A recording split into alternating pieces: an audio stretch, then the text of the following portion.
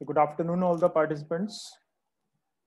We have gathered again uh, for the next session of today's, that is second session of today. And overall, uh, this is 10th uh, session. Uh, sorry, 11th session of this FDP. So I know as this is uh, after lunch session, so kindly bear with us, but we have very renowned personality with us, uh, Professor Sanjeev Yadav, sir. So we welcome you, sir, on our FDP.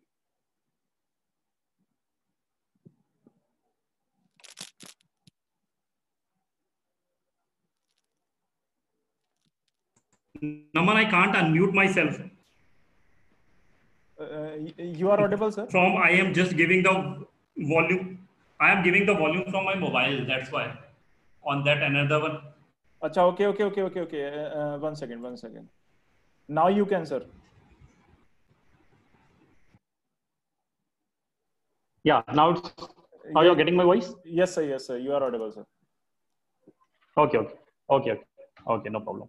So dear uh, dear participants uh, i would just like to introduce our eminent speaker for today's talk uh, professor sanjeev yadav sir so Professor Sanjeev Yadav, sir is currently working as head of the department, Electronics and Communication Engineering, Government Women Engineering College, Ajmer. Uh, he has been working at uh, Government Women Engineering College since 2012 and having more than 10 years of experience. Uh, he obtained his PhD degree in 2018 and MTech in 2010 from MNIT Jaipur. He completed his BTech degree in 2007 from UPTU Lucknow which is now AKTU. So he's a senior member of IEEE and life member of IETE. He is secretary of uh, IEEE Rajasthan subsection and secretary of IEEE Antenna and Propagation Chapter, uh, Delhi. Uh, for uh, uh, section for year 2019 and 2020. He has also served as treasurer of IEEE Rajasthan subsection in year 2019. He is the author of IEEE transaction paper in IEEE transaction in electromagnetic compatibility. He has authored more than 130 research papers in various conferences and journals. He is also the author of uh, one research book published by an international publisher. Uh, he has delivered many invited talks in various capacities in FDPs, uh, short-term training programs, workshops, and other events. Uh, he is a reviewer of many international journals and conferences. He has guided more than 15 MTech students. He has organized many international and national conferences and other events. He has been awarded Research Fellowship Award at IIT Delhi for two consecutive years, 2017 and 2018 his area of research, uh, uh, his area of interest and research is antenna, frequency selective surfaces, and microwave. So we welcome you, sir. Thank you, Naman. Uh, thank you, Naman, for such a nice introduction and welcoming me for this uh, your five days workshop on uh, IoT. And I would like to congratulate you, congratulate you for this uh, workshop and for this topic you have chosen because this topic is a great interest as well as uh, of the great work which we are doing nowadays like uh, anything we now name that is coming into iot it is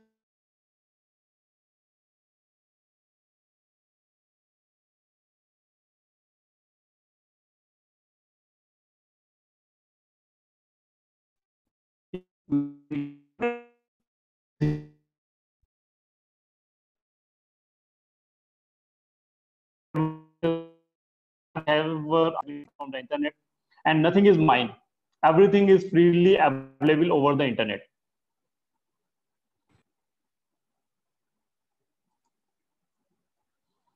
Yeah. Nowadays in covid one thing is there that uh, in this pandemic situation we are not traveling from one place to another. But the distances are being ended by the internet. By using I am sitting in Rajasthan here and you are at uh, border of uh, UP that is Agra and I need not to travel from Ajmer to Agra for giving this lecture. So the travel thing has been ended and nowadays many of the lectures are ha having this way.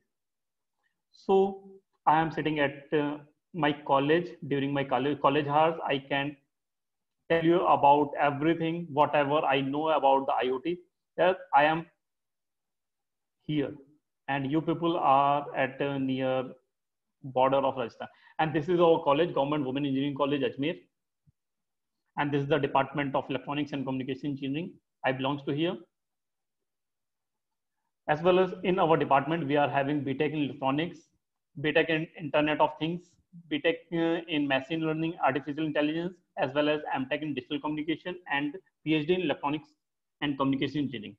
We are having also Center of Excellence of Antenna Lab in our department. That is anechoic chamber, measurement facilities we are having. Yeah, now coming towards the IoT. Everything, whatever we are thinking, whatever we are seeing in this figure that has been covered. This is a basic figure of IoT. Means everything is connected with each other starting from the first figure that is the satellite. You can see in the figure. You can see the my mouse is moving. Is it visible to you or i should yes sir it is it is visible sir. okay just.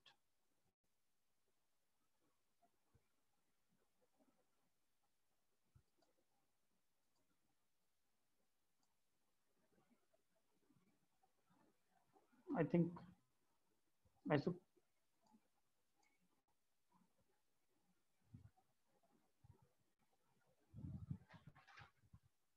yeah here. Now it's uh, i think more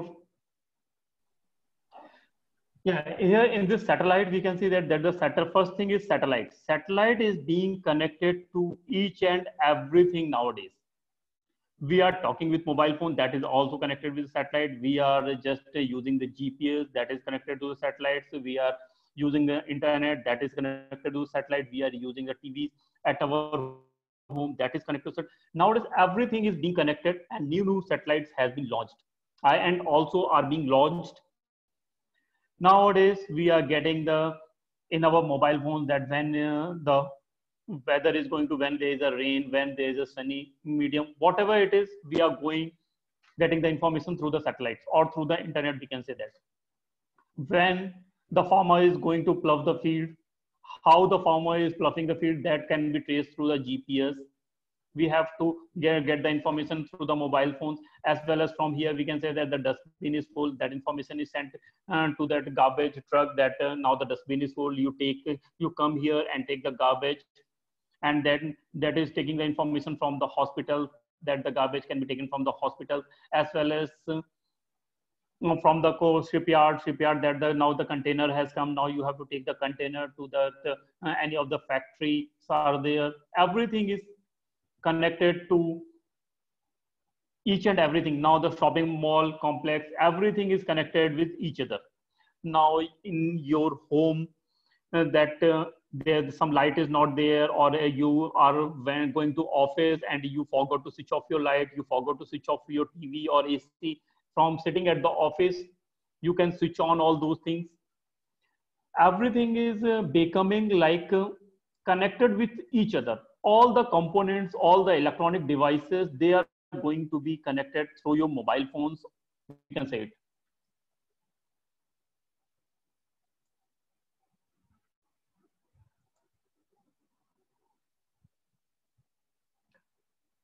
Now coming for the definition of iot that is IoT compromise things that have unique identities and are connected to the internet. Unique identity means one, I talk about our home. AC is unique identity, telephone is an other identity, phrase is another identity.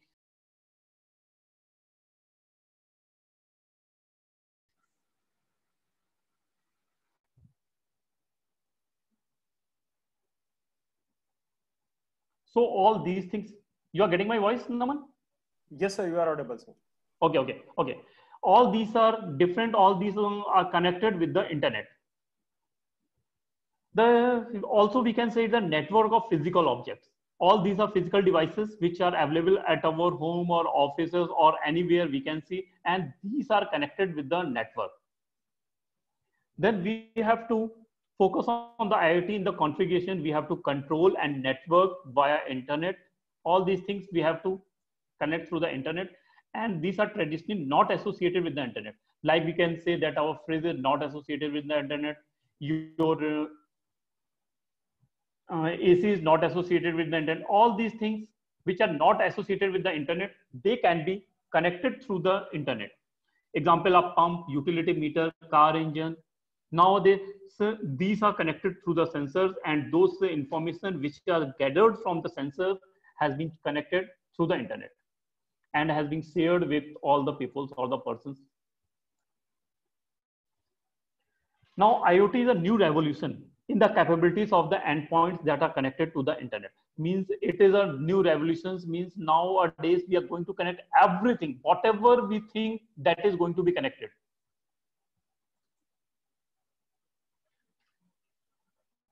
the scope of iot is not limited to just connecting the devices to the internet.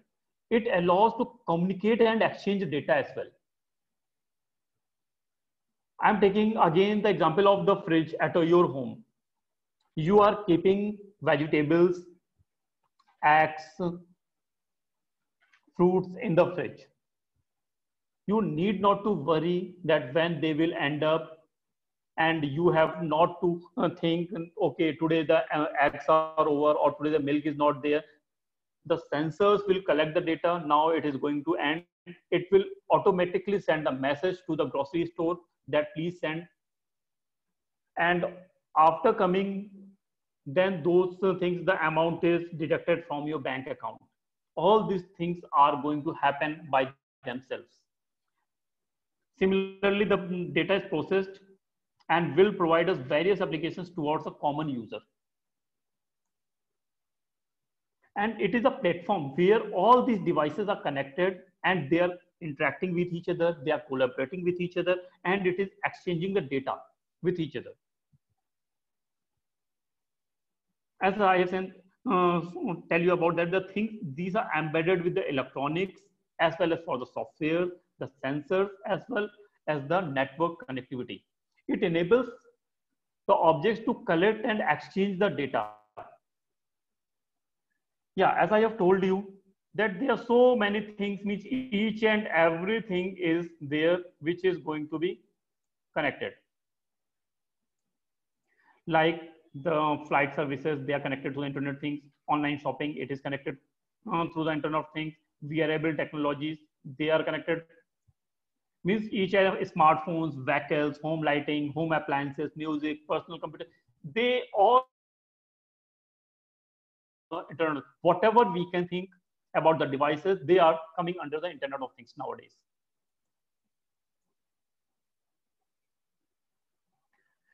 Now it is going to allow the objects to be sensed automatically and controlled remotely assessed across the existing network infrastructure, creating opportunities for direct integration between the physical world and the computer-based systems and resulting in the improved efficiency, accuracy, and economic benefit. Whatever we are doing, that we are doing remotely. We are sitting at your office, we are just uh, working on your home devices or home appliances.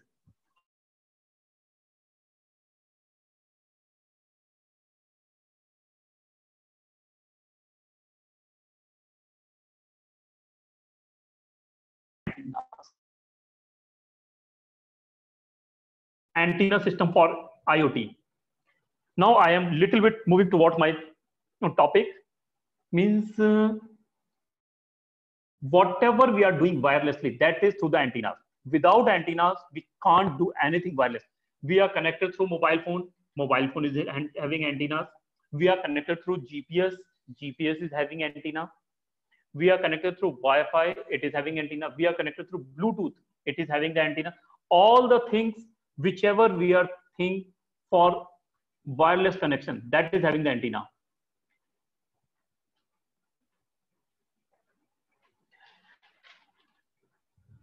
Yeah. Now the idea is we move to the internet of people, then towards the internet thing. The internet that is appears everywhere in the world and it is primarily connection between the people. And now Internet of Things, it is going to connect the things using the internet. Internet of Things is connection of things using the internet and internet is connection of people all over the world through the connection that is internet. Now, how Internet of Things has been evolved. Before internet, their humans are connected to the human. That is fixed and mobile telephone is there, SMS is there. After that, World Wide Web, that is internet has arrived. Then people are connected, become little bit smarter with the help of networks and they are connected through email, information, entertainment, and so many things like this. After that, becoming little bit more smarter, then some platforms are there, services are there, like e-commerce websites are there, e-productivity is there.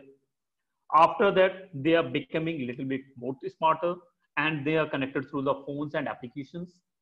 Like nowadays, we are connected with the social media, that is internet of people, Facebook, YouTube, Skype, everything that is we are connected through the internet with the peoples. We are now connected face to face through the social media. Now this is the internet of things where we are people are getting more smarter and along with the machines. Now the devices objects data is connected through the internet. That is machine to machines are connected and they are collaborating with each other. They are communicating with each other. And for that the automation actuation payment all these things are happening. And this is smarter and smarter and the data and the in the ambient context. This is how the internet of things has evolved. Now we can see that now a people is having so many sensors on their body like the motion sensor is there like the ecg sensors are there and everything is connected wirelessly with a device. And that device is connected through the internet and though that internet is connected to the hospitals or your data drives or it is giving the information it is calculating the data how much energy you have lost how is how your heartbeat all the information has been transferring automatically to the places of their need here you can say that the petrol pump, police, as well as the um, camp complex. Everything is connected through the internet. For that, we need the antennas. For the car, we are having the antennas. For the police vehicle, we are having the antennas.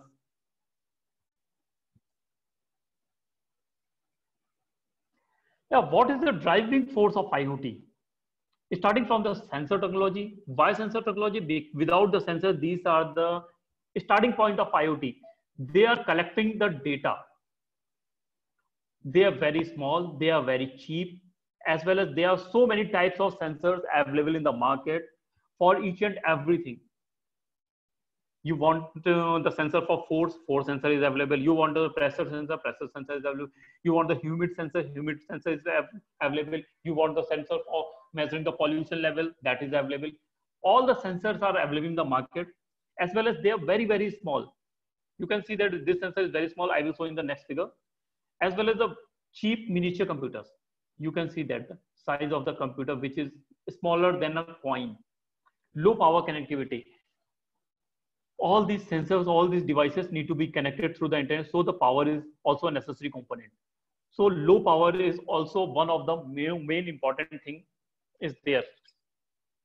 Low power consumption should be there. Capable mobile devices. Now, through the mobile phone, you can do anything. All these, uh, whatever I am telling you about, they are having their own applications and those apps are downloaded on your mobile phones through the Play Store. And then you can all these things through the mobile phone. Everything is connected through your mobile phones. Power of the cloud. Doing that so it should be secure.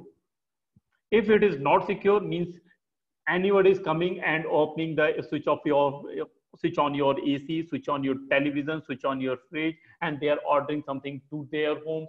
All these things, if the data is not secure. For this, we need the cloud. This is one of the example of the Google Cloud platform. that has been secure so that no one can enter your area. Initially, the thief is coming to your home. They are taking the belonging, your belongings from you. But nowadays, the thief is going for your data.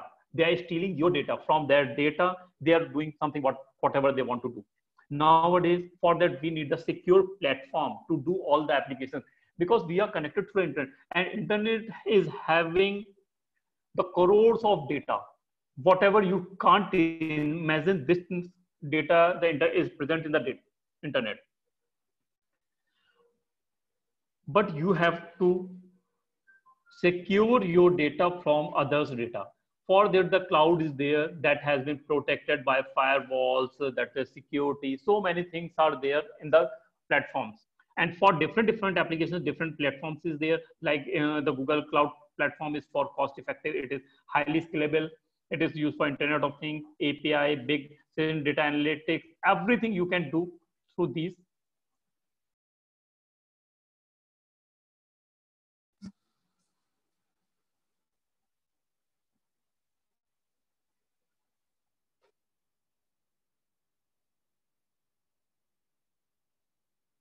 you can see the IoT architecture here. In the IoT architecture, you can see that the integrated applications uh, means these are some of the applications which has been integrated there. All these informations then has to be, sorry, I am going from bottom. Sensing and identification. Sensing means all the information has to be sensed first. Like GPS is sensing your location, smart devices are sensing about whatever the data rfid is sensing about the data it is coming incoming like that sensors are taking the data. All these things means it is the collecting the data sensing and identification this part is collecting the data from the user. Then that data need to be transferred. That is transferred through the WPAN internet, WWAN, WMAN, local area network, metropolitan area network, wide area network, personal area network. Like this, these data has to be transferred from one place to another. After that, that data need to be processed in the data center, search engines, smart decisions, security, mining. After that, processing, it is going to the applications.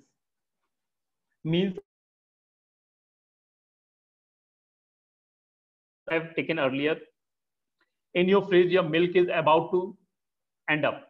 Then it is uh, this sensor is taking the information of milk and it is sending the wirelessly information to the processing unit that milk is about to expand. Then this is going to send it to the market or the grocery store that the milk is about to end up. So please send the milk after that that milk the person will send the milk to your home uh, then the sensor will close it down that now the milk is also here. Now you can do the process the things. Iot technologies. There are so many things. As i told you about the hardware is there communication technologies there protocols are there softwares are there cloud platforms are there. I have most of the things i have already discussed so i will skip all these things. For these things implementation we need these types of some devices that the Arduino Uno, BeagleBone Black, Raspberry Pi, and Intel Galileo. All these boards we are having for the implementation of the smart objects. And these are some of the board connections which we are using, how these, uh, small, small things can be used, then can be connected through the internet. And these are some of the sensors which has been taking the information water flow sensors force sensor leak levels electric magnetic. So many things are available in the internet. These four are the pillars of iot i have again discussed all these things devices as i told you about the sensors pulse sensor force sensor i have told you the size of these sensors very very small less than a coin. Accelerometer you can say only 4 mm diameter is there Nowadays, we can connect 100 to 1000 of things working together on a single network. And after collecting the data from all these sensors, the data has been doing the analysis. How the data do what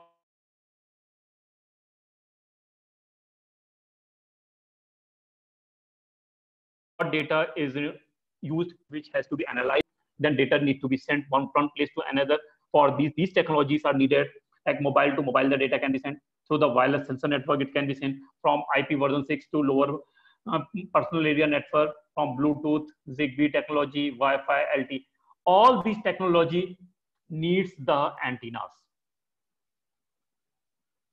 now we are coming towards the antennas initially we are having the 2G, 3G, then 4G. Now we are coming towards the 5G. The difference between the 2G and 3G is there. There is very less bandwidth is there in the 2G and 3G, little bit more bandwidth is there. Nowadays, we are using the 4G. In the 4G, we can send large amount of data within a fraction of seconds. If we want to download a movie within minutes, we can download a movie, means the large data can be processed simultaneously now, in comparison to 4G and 5G, you can see that the thousand times extra data can be transferred from 4G to 5G, as well as from 10 times to 100 times the devices, more devices can be connected. Five times the lower latency should be there, and user data rate should be from the 10 times faster than to the 100 times, as well as the power consumption is also low if your battery was working for one day here your battery life will be of 10 days. Now you can assume. So much of data transfer and your battery life is going to be so high. In our homes smart homes we can say that everything is going to be connected wirelessly. You can see there. We not need not to do the wiring everywhere. We need not to put the LAN cables everywhere. Everything is connected through the wireless Nowadays, we can see that at our homes, televisions are connected through the wireless. Your mobile phones are already connected. We are having mm, the Wi-Fi routers at our home. Then we can connect the laptop, mobile phones, televisions, all the devices through the wirelessly. We need not to do the wiring of the LAN connections like this. Now coming to the antenna. Why is antenna useful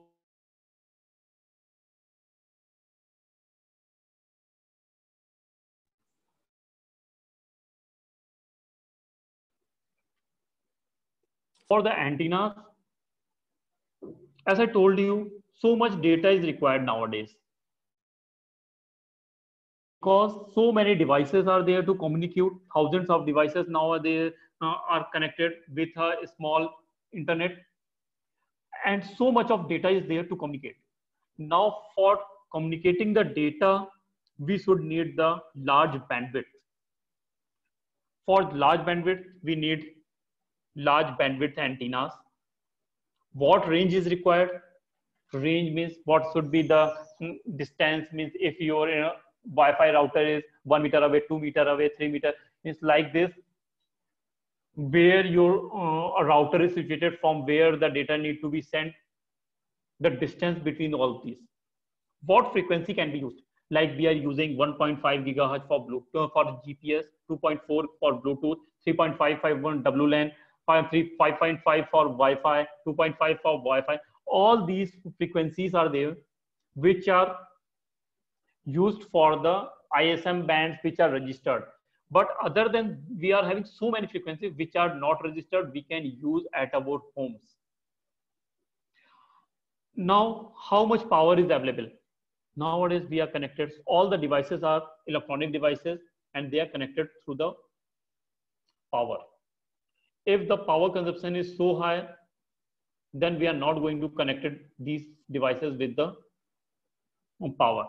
If you are putting some battery there, the battery life uh, should be for at least months to years. So that whatever the device we need not to replace or we need not to connect all the time to the electricity. So all these are requirement for the antenna design which we are going to use as you know mobile phone we are having at least four to five antennas like first one is for gsm for which we are talking second is for gps which is for location WLAN, Wi-Fi, Bluetooth, and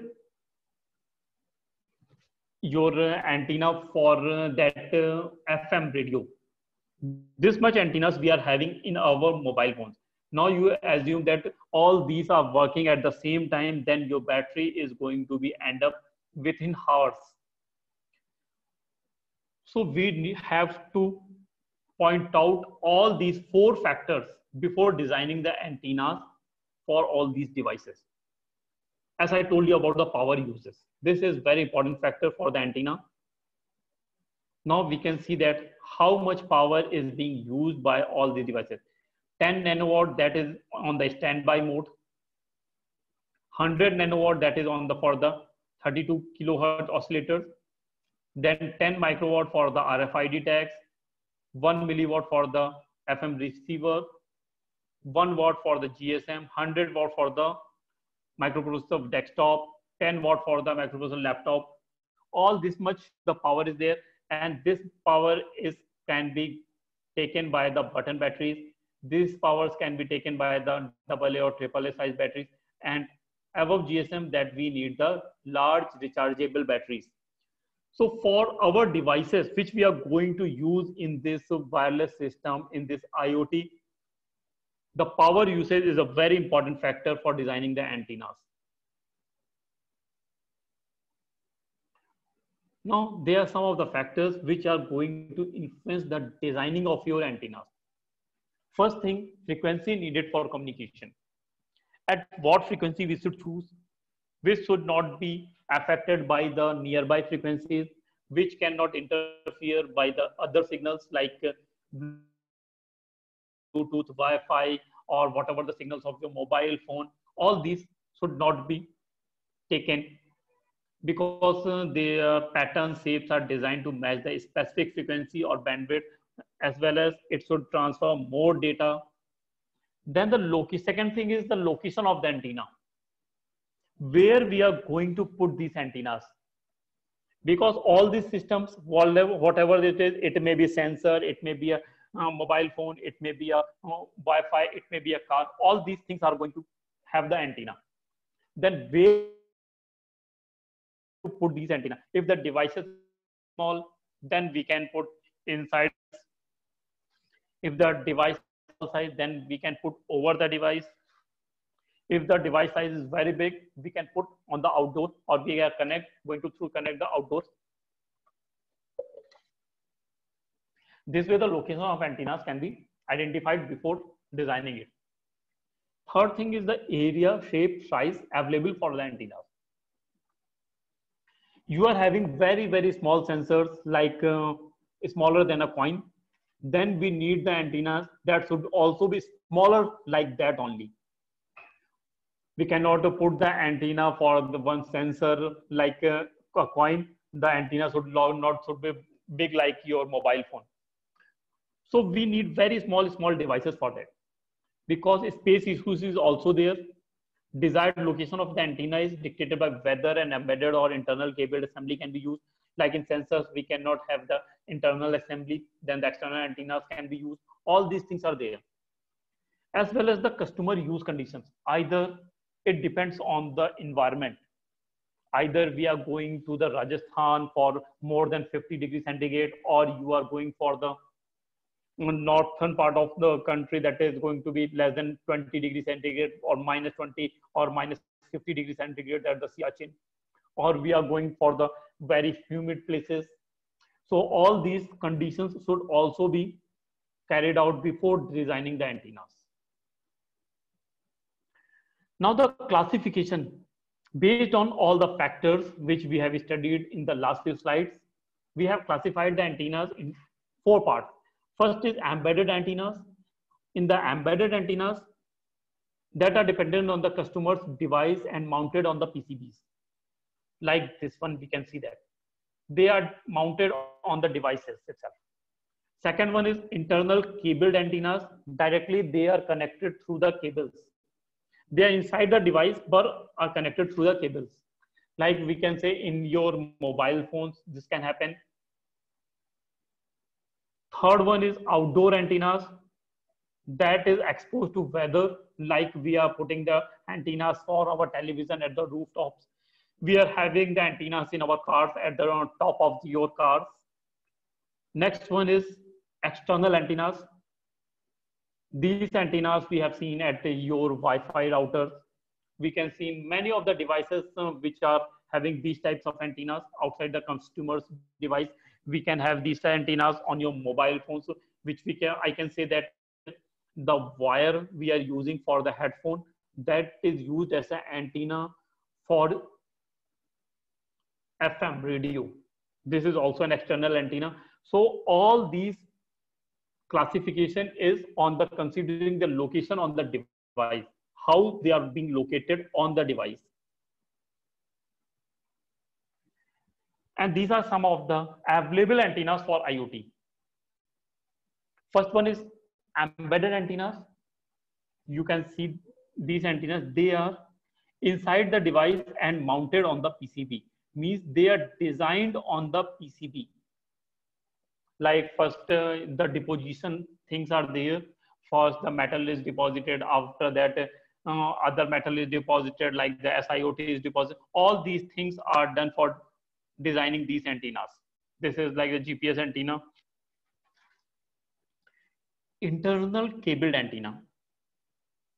These types of some types of antennas are used inside your mobile phones. Inside the customer device and coaxial cable connected to the PCB. These types of antennas are being used. In some of the devices which we are using at our homes, these types of antennas can be used. Directly only the connectors are there and they are connected through the wire. And these are the antenna only.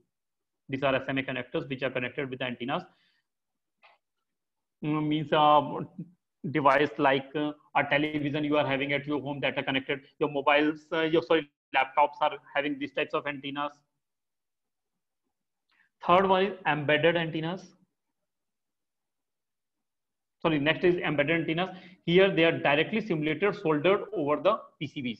Again, they are soldered over the yeah, this type of antennas we are using in your mobile phones, stamped metal. It is planar inverted F antennas. Internal cable, I have told you everything about these. When there is no space on the PCB, then these antennas are used. They are flexible, means we can just uh, fold it, all these things. As, according to our requirement, we can do these. And the PCB designer, more freedom. This is the stamped metal antenna which are being used at the laptop. If you will open your laptop, you can find this type of antenna on your laptop, which are used for the getting the signals.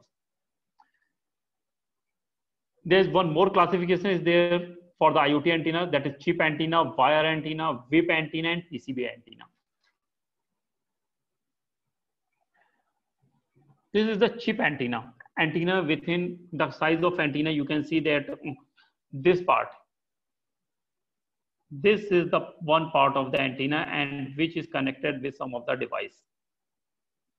The best option for small form factors and for lower frequencies. And it is good for large production because nowadays we are going to have very small, small sensors. And for smaller sensors, we need small antennas for transmitting the data. So chip antennas are very useful for connection of these small, small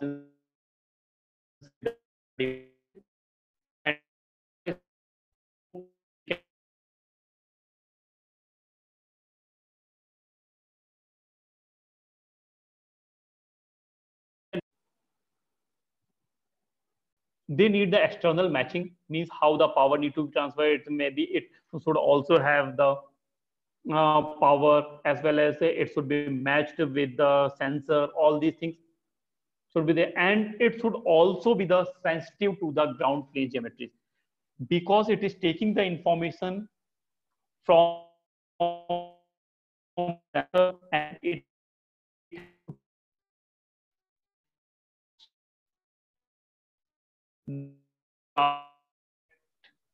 the data which is being transferred so its geometry should also be sensitive.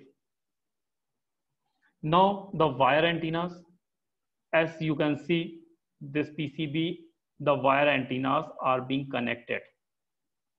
These are best optimized designs through EM solvers. We are not going to design these antennas directly. We are designing the antennas and we simulate these antennas along with your PCBs so that they can put connected through the PCBs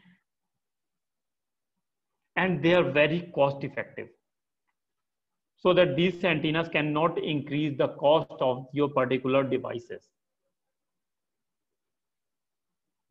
Whip antenna. These types of antenna we are going to use over the cars. Nowadays, you have seen these some type of this type of antennas over the cars. They are the most costliest antenna and they should be of highest performance and ideal when IoT module faces co-site issues due to multiple transceivers. They need connectors on the board of the module, means they are directly connected. They need coaxial cable from PCB to antenna module, means from the internal to the antenna module, they are being connected through the wires. This antenna type requires emission testing to be performed. Why? Because car is also made up of metal. And the metal behaves like the antenna. So there should be no interference with the signal of the car along with these the antenna of the which are being used. So we have to go for the emission testing like EMI, EMC, electromagnetic compatibility and electromagnetic interference testing should be done for the cars before using these antennas and along with these antennas. These are the PCB antennas. They are the antennas are designed within the PCB and it is the lowest in cost and flexible in designs. These antennas are designed by individuals, companies and based on the applications. These PCBs are used for particular purpose and for each purpose, the separate PCBs are designed in bulk. So used for specific frequencies, like we are going to use antennas for your mobile phones, then only those antennas are used for mobile phones. If you are going to use antennas for your televisions, then the antennas would be designed for the televisions. If you are going to use the antenna for your AC, then the chip is designed for the AC. So specific requirement antennas and they are produced in bulk of the same properties, having the same property. They should ha have the small lightweight and can be easily mounted because of the specific things they need to be mounted easily and the quality should be high and the cost should be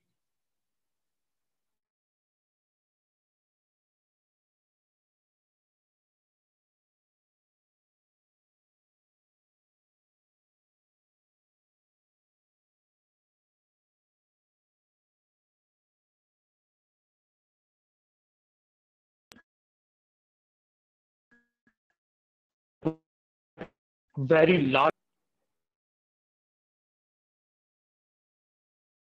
the 10,000 times more calls and data traffic than at 3G or 4G. So the mobile broadband, we are going to have the largest, fastest uh, speed, critical communication, massive Internet of Things, and forward compatibility. Here,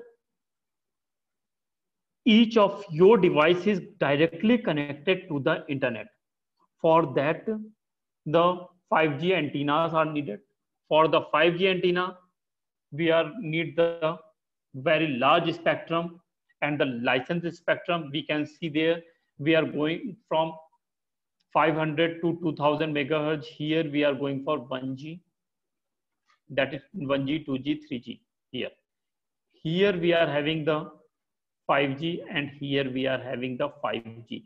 Different, different bands according to the countries has been defined for the wireless industry in the 5G. Like one is the sub 1 gigahertz band that is ideal coverage band and could be provided very useful means for extending a superior 5G. It could not support extremely wide bandwidth and therefore enables the fastest possible data rates. It is going to reach more people in both developed and especially developing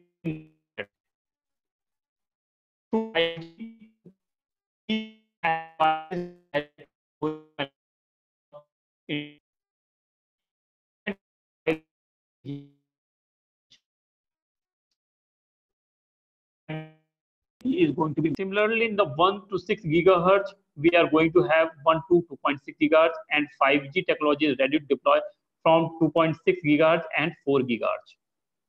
So these bands offer a mixture of coverage and capacity. Above 6 gigahertz uh, we are going towards the higher frequency range. And higher frequency we are going to have very small small antennas and the 5g are limited to small urban areas inside the buildings, radio propagation qualities, and small cell sizes will be needed for the higher frequency as the frequency is inversely proportional to the your lambda that is the wavelength. For the 5G, the normal antenna would not be effective. Then we need to have the MIMO antennas. These are some of the examples of the MIMO antennas which we are going to have for the 5G. These Wi-Fi routers you have already seen. These types of devices has been now, the work has been started as well as ex extensive work is being going on at all over the world.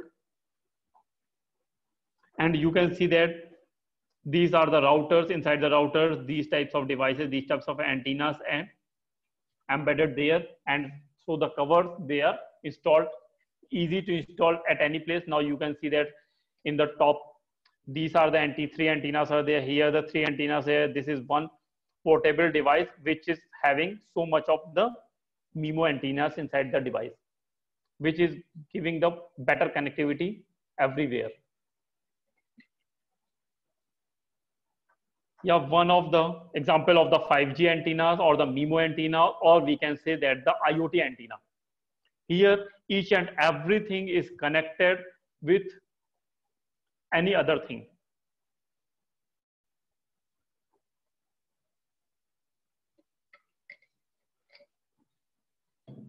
Here, this is the mobile tower that is giving power or that is giving signals to this building, this building, this building, and this building. And then they are having their own network like this one.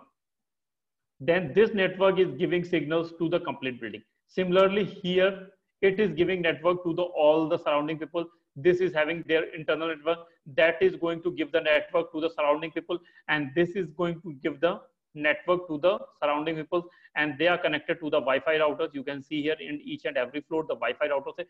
This way, the 5G means multiple input, multiple output, and MIMO antennas are being used from one to other and other to other similar everyone is having the capacity is being increased as well as the bandwidth is going to be increased this way now you can see each and every device is being here the car bus mobile laptops everything is being connected the buildings hospitals airport all the things are being connected through the internet of things using the MIMO antennas. This is one more example of the MIMO antennas. Here RF antennas, they are giving particular signals for each and every mobile phones.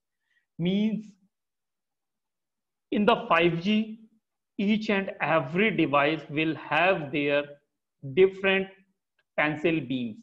Means initially we are having the beams like uh, it is having a complete band for two as far we are i'm taking the example from 2 gigahertz to 3 gigahertz they are having the bluetooth band which is 2.45 gigahertz.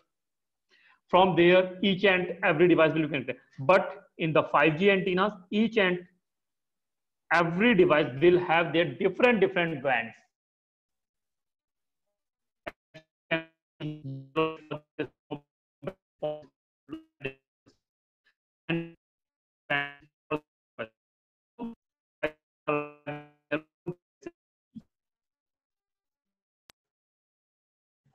And this is which has been allotted by the FCC for different different countries. The different frequencies has been allotted, And the work has been also going on throughout the world over these frequencies. In case of the US, you can say that the 600 megahertz, 2.5 gigahertz, 3.5 gigahertz, 5.9 gigahertz, all these frequencies are been working for different different countries. The different bands. Someone working on the below three gigahertz, below four gigahertz, in the five gigahertz range, and at the higher range that is from the 24 to 28 gigahertz, then 37 to 40 gigahertz, and at a very high band that is 64 to 71 gigahertz. Means these blue are the licensed band, which we are using as well. And the green part, they are the unlicensed band. And these are the existing band, this, which we are using for the LTE of that is 4G. 4G communication, we are using these bands and these bands are being used for the 5G. You can see there. Nowadays, each and every country is having their different, different bands for the frequency allocation. Here in this, there are some of the things are there for sub 1 gigahertz, which is less than 1 gigahertz. As I shown you in the previous figure, this is less than 1 gigahertz band. Here, for the moderate channel capacity, it is having the low speed and deep indoor coverage, and Pioneer is 700 megahertz. Then for sub 6 gigahertz, the large channel capacity is there, high speed is there, wide coverage area network and Pioneer is 3.5 gigahertz, so mainly it is being used. And for the millimeter wave that is greater than 6 gigahertz, there are so many bands are there. That is Pioneer 26, 28 gigahertz. And it will have the limited area coverage because frequency is again inversely proportional to lambda and lambda is the wavelength. So as the frequency increases, the wavelength decreases. So the limited area network will be there. Here the frequency is low, so the wide, wide area network is there. And there, these bands are some of the names has been given and 51 and 50 and 41 and 38. And for these, the ranges are there. And the, for these, some of the countries are there. And in our country, we are going to use N78 band, which is from 3.3 to 3.8 gigahertz.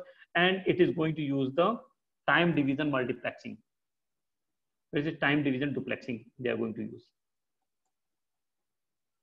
This is the current status of this 5G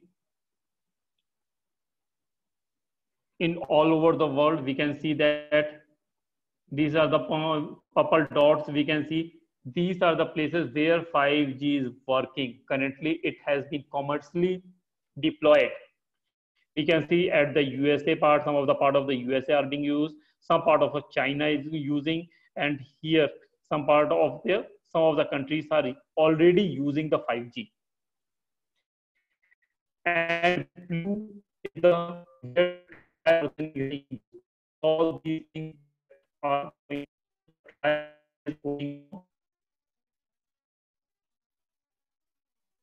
this uh, here it is India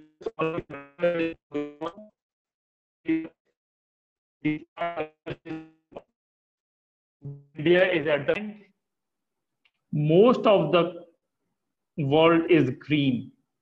Means they are still using gsm 3g and 4g there the research work has also not being started for the 5g And without these type of networks, the IoT is little bit difficult to employ because all the devices should be connected through the inter internet. And for the connection to the internet, large data is needed. For transferring the large data, we need good bandwidth antennas as well as good bandwidth internet facilities. Now we move towards the application of these antennas on the IoT. Yeah, this is the home automation that is an intelligent home. In the intelligent home, you can see there all thing, everything is being controlled by the laptop, iPad,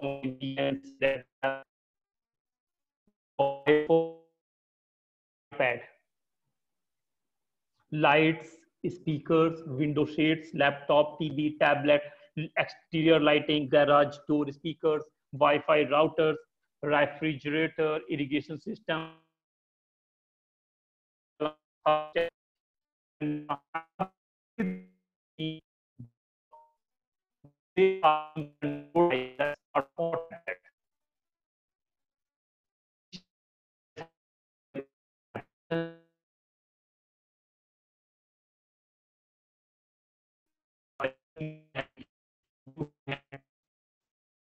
all these devices you can control these devices. Like one such example is the smart egg tray this is the smart egg tray which is put inside your refrigerator. Then the egg minder synchronized with your smartphone to tell you how many eggs you have got at home and when they are going bad. Every information is there. All these things is having a sensor and that sensor is collecting the information about that how many days which is the expiry date when they are going to expire like this these two are going to be expired. And this will be picked up next. All this information and how much are empty. Then there is one antenna which is going to send the information to your laptop or to your mobile to the app that this was the information and now you need to order or it will uh, self order for through the market. This is one example of iot next one is smart washing machine. Again the your washing machine should be there. That is the information how to operate what is the uses what is the statistics all these things are there Smart Aqualtis is the first industry company washing machine designed to be integrated in the smart ecosystem, covering a wide range of use cases. There are so many cases are there. Now the now you need to start the now you need to open the tap, you need to close the machine, you need to start the dryer. All the things has been controlled by the mobile phone using the antennas and the applications. Antenna will send the information to the internet and to the internet that information will be coming to your handset.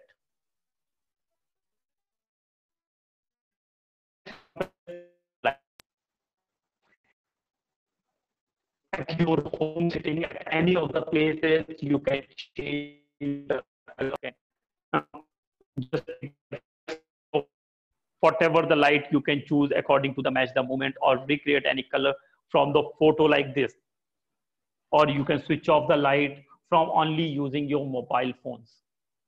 This is a smart lighting system which can be connected through the IoT. Next is the smart AC.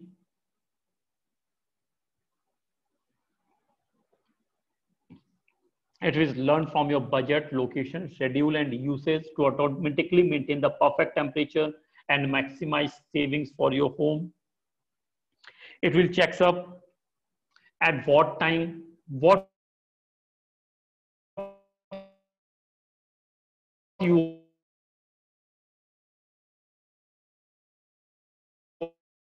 are doing. 4 degree centigrade the time see it will always maintain the 24 degree.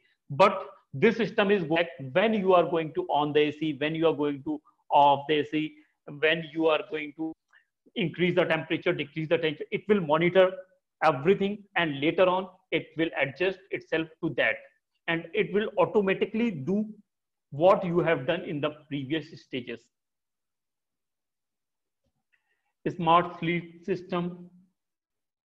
First it will visualize your sleep cycles understands what you wakes up and compare nights from the palm of your hand and you can control your personalized wake up and fall asleep programs. All these things are done automatically. You need not to do anything through the iot smart weather station. This weather station allows you to use indoor temperature, relative humidity, and CO2 readings to live in a healthier environment. It will automatically changes the incoming and outgoing air through the sensors, how much, uh, which gas is inside, uh, which, uh, how the temperature, it's humid or cold or hot. According to this, it switch on the AC, switch off the AC. All things are done through the smart.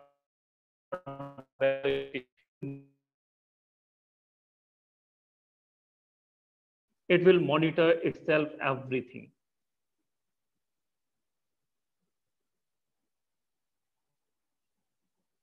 smart slow cooker.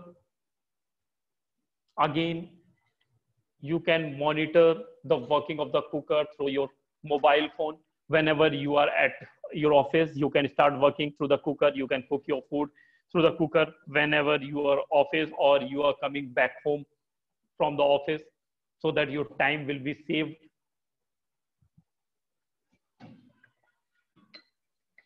You can operate it through your mobile phone only.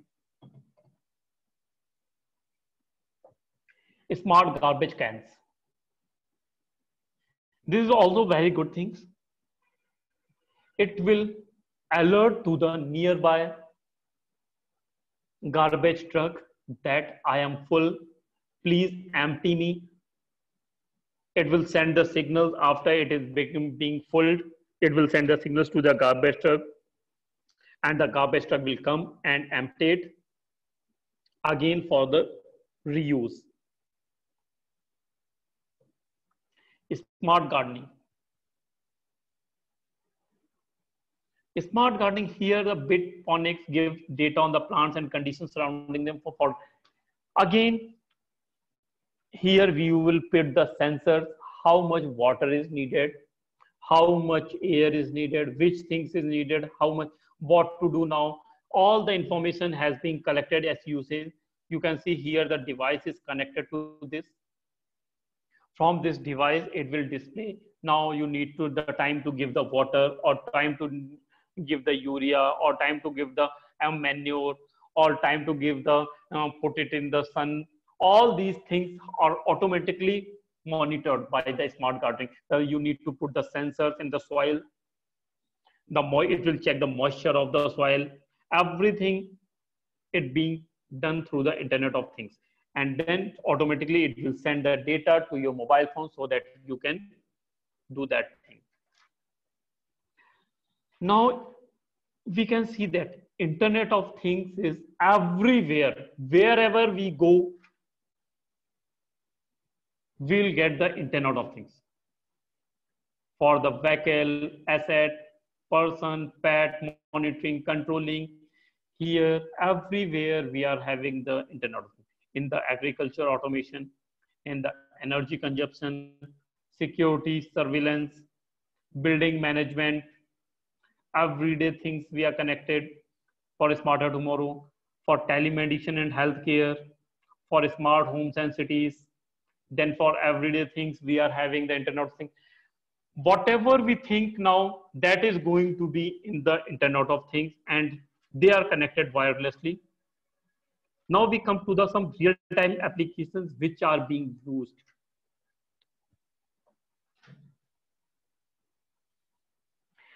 Yeah, this is the efficient waste management smart cities system supported by sensor sensing as a service. Again, the similar thing is there. This is a cloud which has been connected wirelessly from all the things from the city council to the recycling plant, manufacturing plant, health and safety authorities to the city where the infrastructure is there where the people are living as well as the garbage cans, garbage trucks. Everyone is connected through the internet and through the Wi-Fi mode and that is due to the these antennas. So what is going to happening? these garbage cans they are giving the signals means they are again the wi-fi signals everywhere you can check there the wi-fi signal is there means they are wi-fi connected when they are full they are giving information to the any nearby Wi-Fi. Then this Wi-Fi is sending the signals to the server. And server is checking. Means it is going to collect the data. After collecting the data, it will analyze it and it will check where to send the information, either to the city council or to the recycling plant or to the manufacturing plant or to the health and safety authorities. Then from where like it is going to city council, then the city council will inform the garbage truck that the garbage truck on that locality that dustbin is being full, that the garbage can is full. So go and collect the data. So it will go to the garbage can and or through the garbage trucks. There, this will data will be collected or this garbage will be connected and it is going to the recycle plant.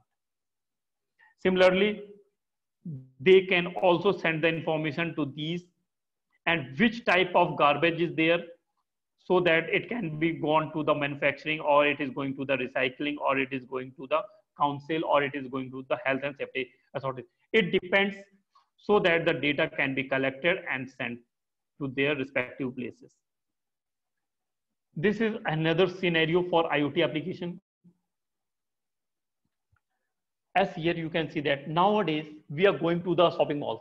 In the shopping malls, each and every device is having a tag on. That is the RFID tag. RFID tag is similar to the antennas. It is also one bifurcation of the antenna, we can say that because it is radiating.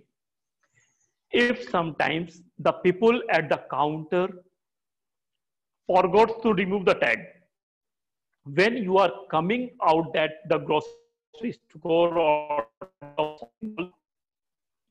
it gives the signal to that the tag is not alarm. So the antennas are being used at the and each and every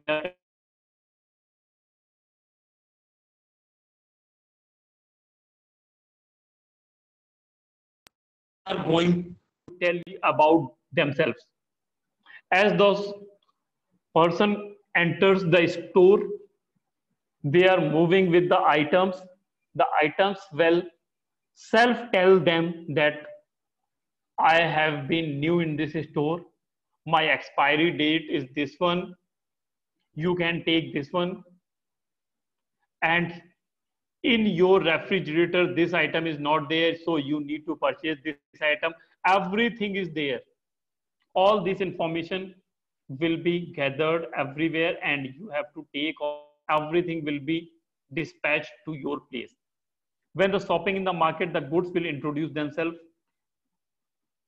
when moving the, the goods the reader will tell you the stuff to put a new one and when paying the goods the microchip of the credit card will communicate with the checkout reader.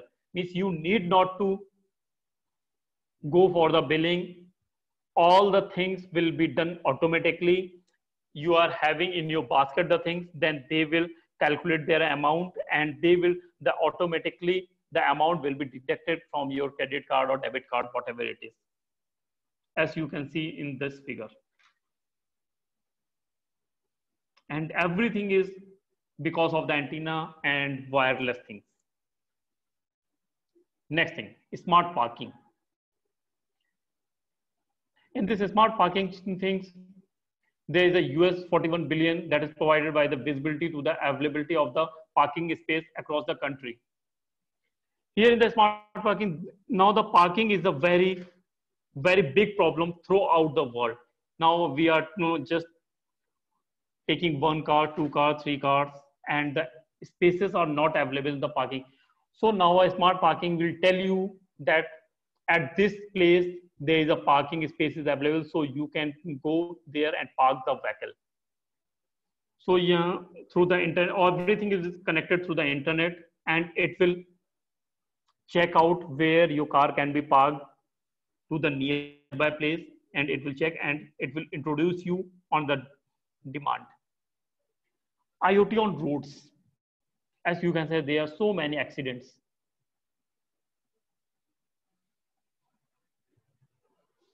you can check all these things. As in the first figure that you are using, that the people are changing the lanes. And in the second figure, there are the accidents is there. In the third figure, the car accident is there. In the fourth figure, you can see how without the traffic light, the people are moving. And in the last one, the people are just moving there. So as per the statistics of the US crash, in 2011, 5 million crashes has been done and the 2 million injuries has been done. And the, for and the people have lost their lives in the injuries and the property has been damaged.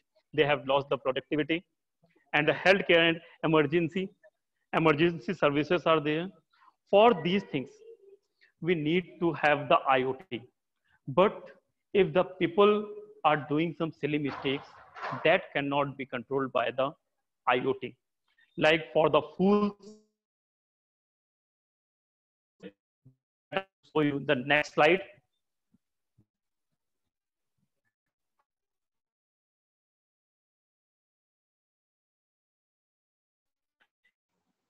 Can save the idiots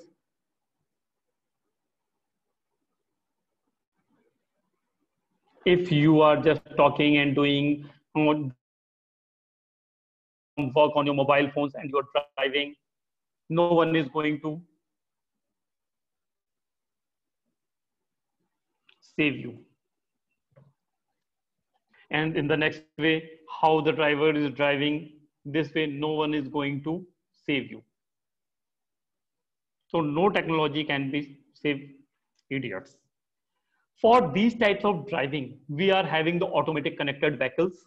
For this, we can say that the V2X technology, each car will having so many devices are there. GPS is there, wheel encoder is there, onboard unit, ultrasonic sensors, radar, camera, lidar, and all the information is sent through these devices, these antennas.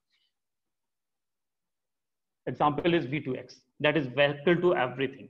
It is a wireless technology that allows vehicles to communicate with each other, each vehicles and their surroundings. Like this technology is going to connect it with the infrastructure, like the road lights. They are going to connect it with the nearby mobile phones, nearby pedestrians, nearby vehicles and smart homes. Like this one. In these figures, you can see that each and every car is being connected to nearby vehicles so that they can reduce the number of accidents which we have shown in the previous slides. When they are moving nearby, they will apply the car will you know, self-apply the brakes. They will tell or that they, someone is coming nearby or some accident has been on there. So you can change the routes.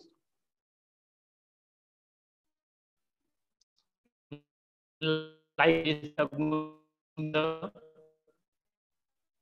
technologies that be integrated in the V2X technologies. All the vehicles are communicating with vehicle or roadside objects that this must use V2X. If it is about to come, so please stop your car. The signal is going to be red, so slow down your speed. All these things are going to happen in the V2X technologies. And from, from here, I'm going to summarize about that through a tech analyst company that has predicted 41.6 billion connected IoT devices by 2025. Means this much devices are going to be connected by 2025. Now you can assume how much devices would be there, how much sensors are needed. It is also suggested industrial and automotive equipment represents the largest opportunity to get connected of the things, but it also sees strong adoptions of smart home and wearable devices in near term. So in future, we are going to use a smart homes and wearable devices. Now, this is the current status. We can see in 2003, the world population is about 6.3 billion and the devices of 500 million.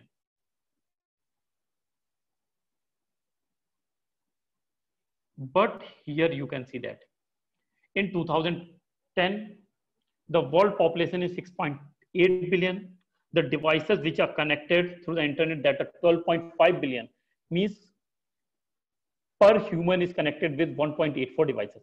In 2015, per human being is connected with 3.47 devices. The world population increased to 7.2 billion and the devices increased to 25 billion. And 2020, which we are now, each and every person is connected to 6.58 devices, which is 50 billion. Now you can assume how much devices, how many devices are being connected wirelessly. So the need of the antennas, you can think what is the market of antenna and what is the capacity we are going to use, utilize. Means 50 billion. So we need the 50 billion antennas for the devices as well as we are moving towards 2021, 2022. This data is going to be higher and higher.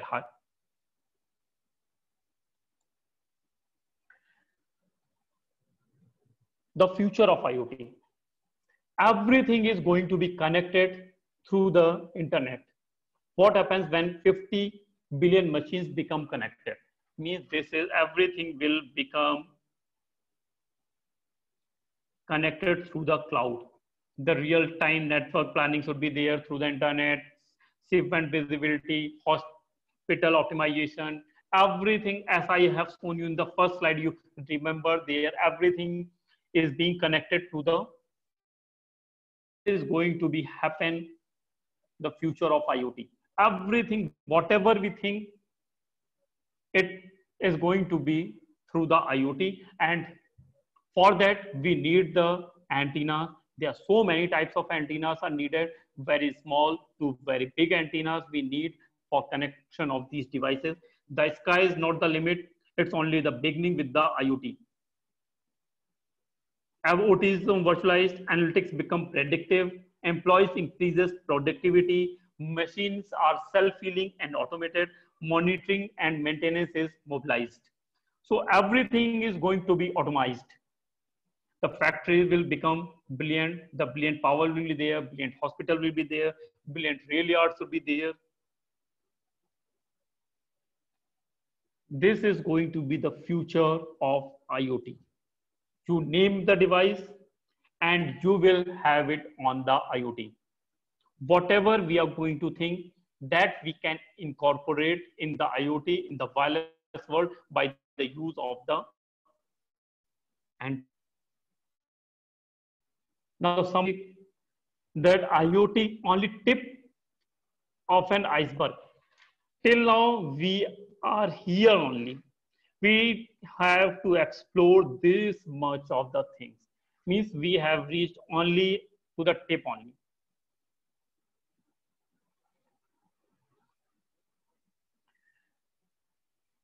i would like to stop here and for the queries if any queries are there please let me know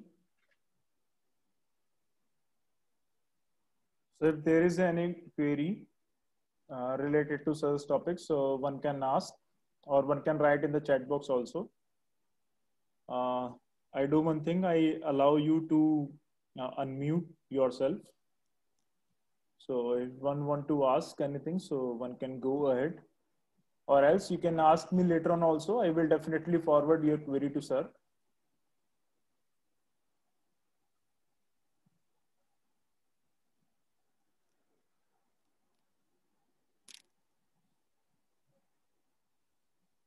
So sir, if there will be any query later on, then I will forward it to you. Sure, sure.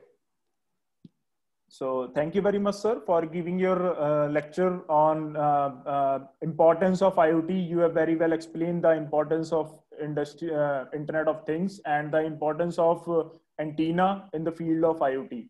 So definitely uh, all the participants will get an idea to work in the field of antenna design to incorporate that into the internet, internet of things. So thank you very much, sir.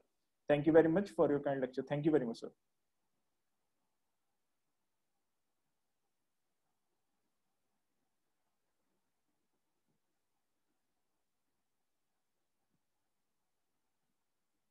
So you are not audible, I think.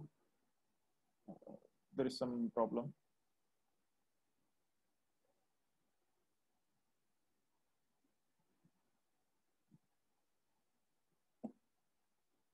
Okay, anyway, so thank you very much, sir. Uh, you can you can uh, you can disconnect. So thank you, thank you very much, sir. Thank you. So dear participants, we are now moving towards the last session of today's. Uh, so uh, uh, kindly, I request you all to uh, bear with me to uh, allow me to give your uh, last session of today's. That is fourth day of this FDP and the last session for fourth day. And tomorrow will be the final day of our FDP. So let's start with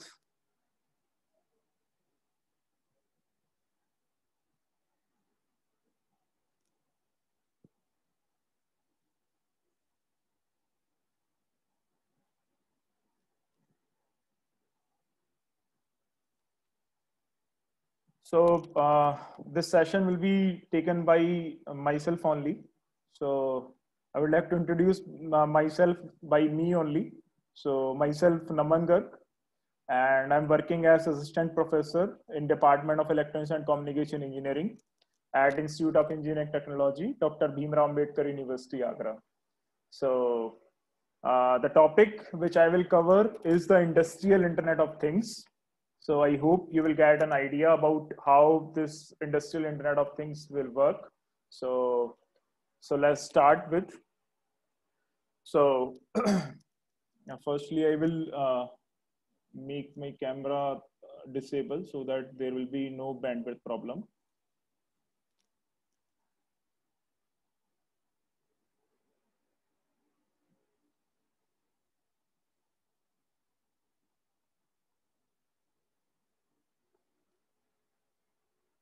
So uh, to start with, uh, industrial Internet of Things has differences with the existing Internet of Things, the popular Internet of Things. So industrial Internet of Things has a different scope and there are some specific uh, uh specificities uh, that are there in industrial Internet of Things.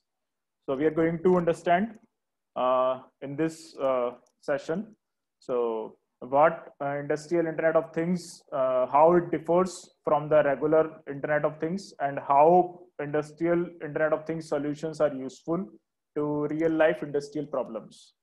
So uh, uh we start with this quote by uh, paul howarth and what he said is that uh, iot as a concept has crossed the chasm for slideware to reality with many industries implementing in uh, internet of things solutions.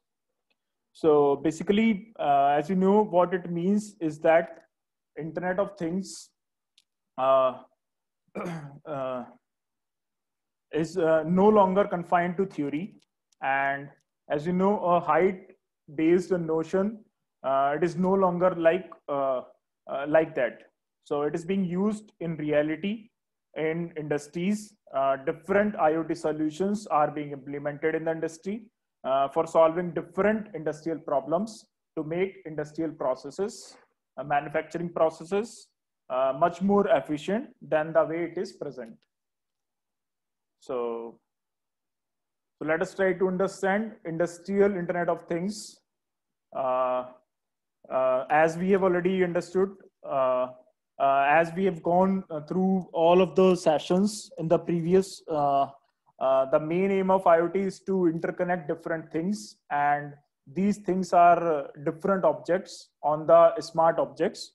So what is required is to globally connect these smart objects or the things so that uh, the objects are uniquely identified and they are able to interoperate between themselves. So it is an IoT and an IoT solution. Uh, we uh, we have uh, different objects uh, which are smart objects where there is intelligence. There are embedded in the different things. So there are embedded systems that are attached to the different things, uh, the worldly things, and these things they have their abstraction as smart objects. They're able to interconnect with each other. They're able to internetwork with each other and so on. So in the contrast, uh, in industrial Internet of Things, we are focusing on industries, particularly focusing on industrial systems, industrial automation enterprise, uh, system enterprise, uh, planning product life cycle, and so on. And while, while we do it, we basically digress from the uh, core requirements of IoT, and there are some specific requirements which concern uh, industrial processes that come into the picture. So we are going to understand what these are in this uh, in this session. So before that, in terms of the scope of uh, industrial IoT, uh, basically it borrows some of the features of the existing IoT. Plus it borrows some features from the vision of industry 4.0. So industry 4.0 basically gives a framework for automation and data exchange in manufacturing technologies. So it is a vision, it is a way forward that has been proposed. So industry 4.0 uh, basically tries to improve the automation and data exchange in manufacturing technologies. It tries to incorporate concepts from uh, cyber physical systems, uh, IoT, cloud computing, and so on. So what we have essentially is that uh, what is well known as the smart factory. So uh, industrial IoT basically uh, takes some features from the regular IoT, that is the conventional IoT, and some from the industry 4.0, and uh, tries to have a separate vision, separate technology for itself. So what we have, we have already understood that uh, whereas industrial IoT combines features from IoT and industry 4.0, it is not IoT as such. We have to understand this thing first. Okay. So there are certain features that have been borrowed from IoT, but it is not the IoT. So this industrial IoT and IoT are not the one and the same.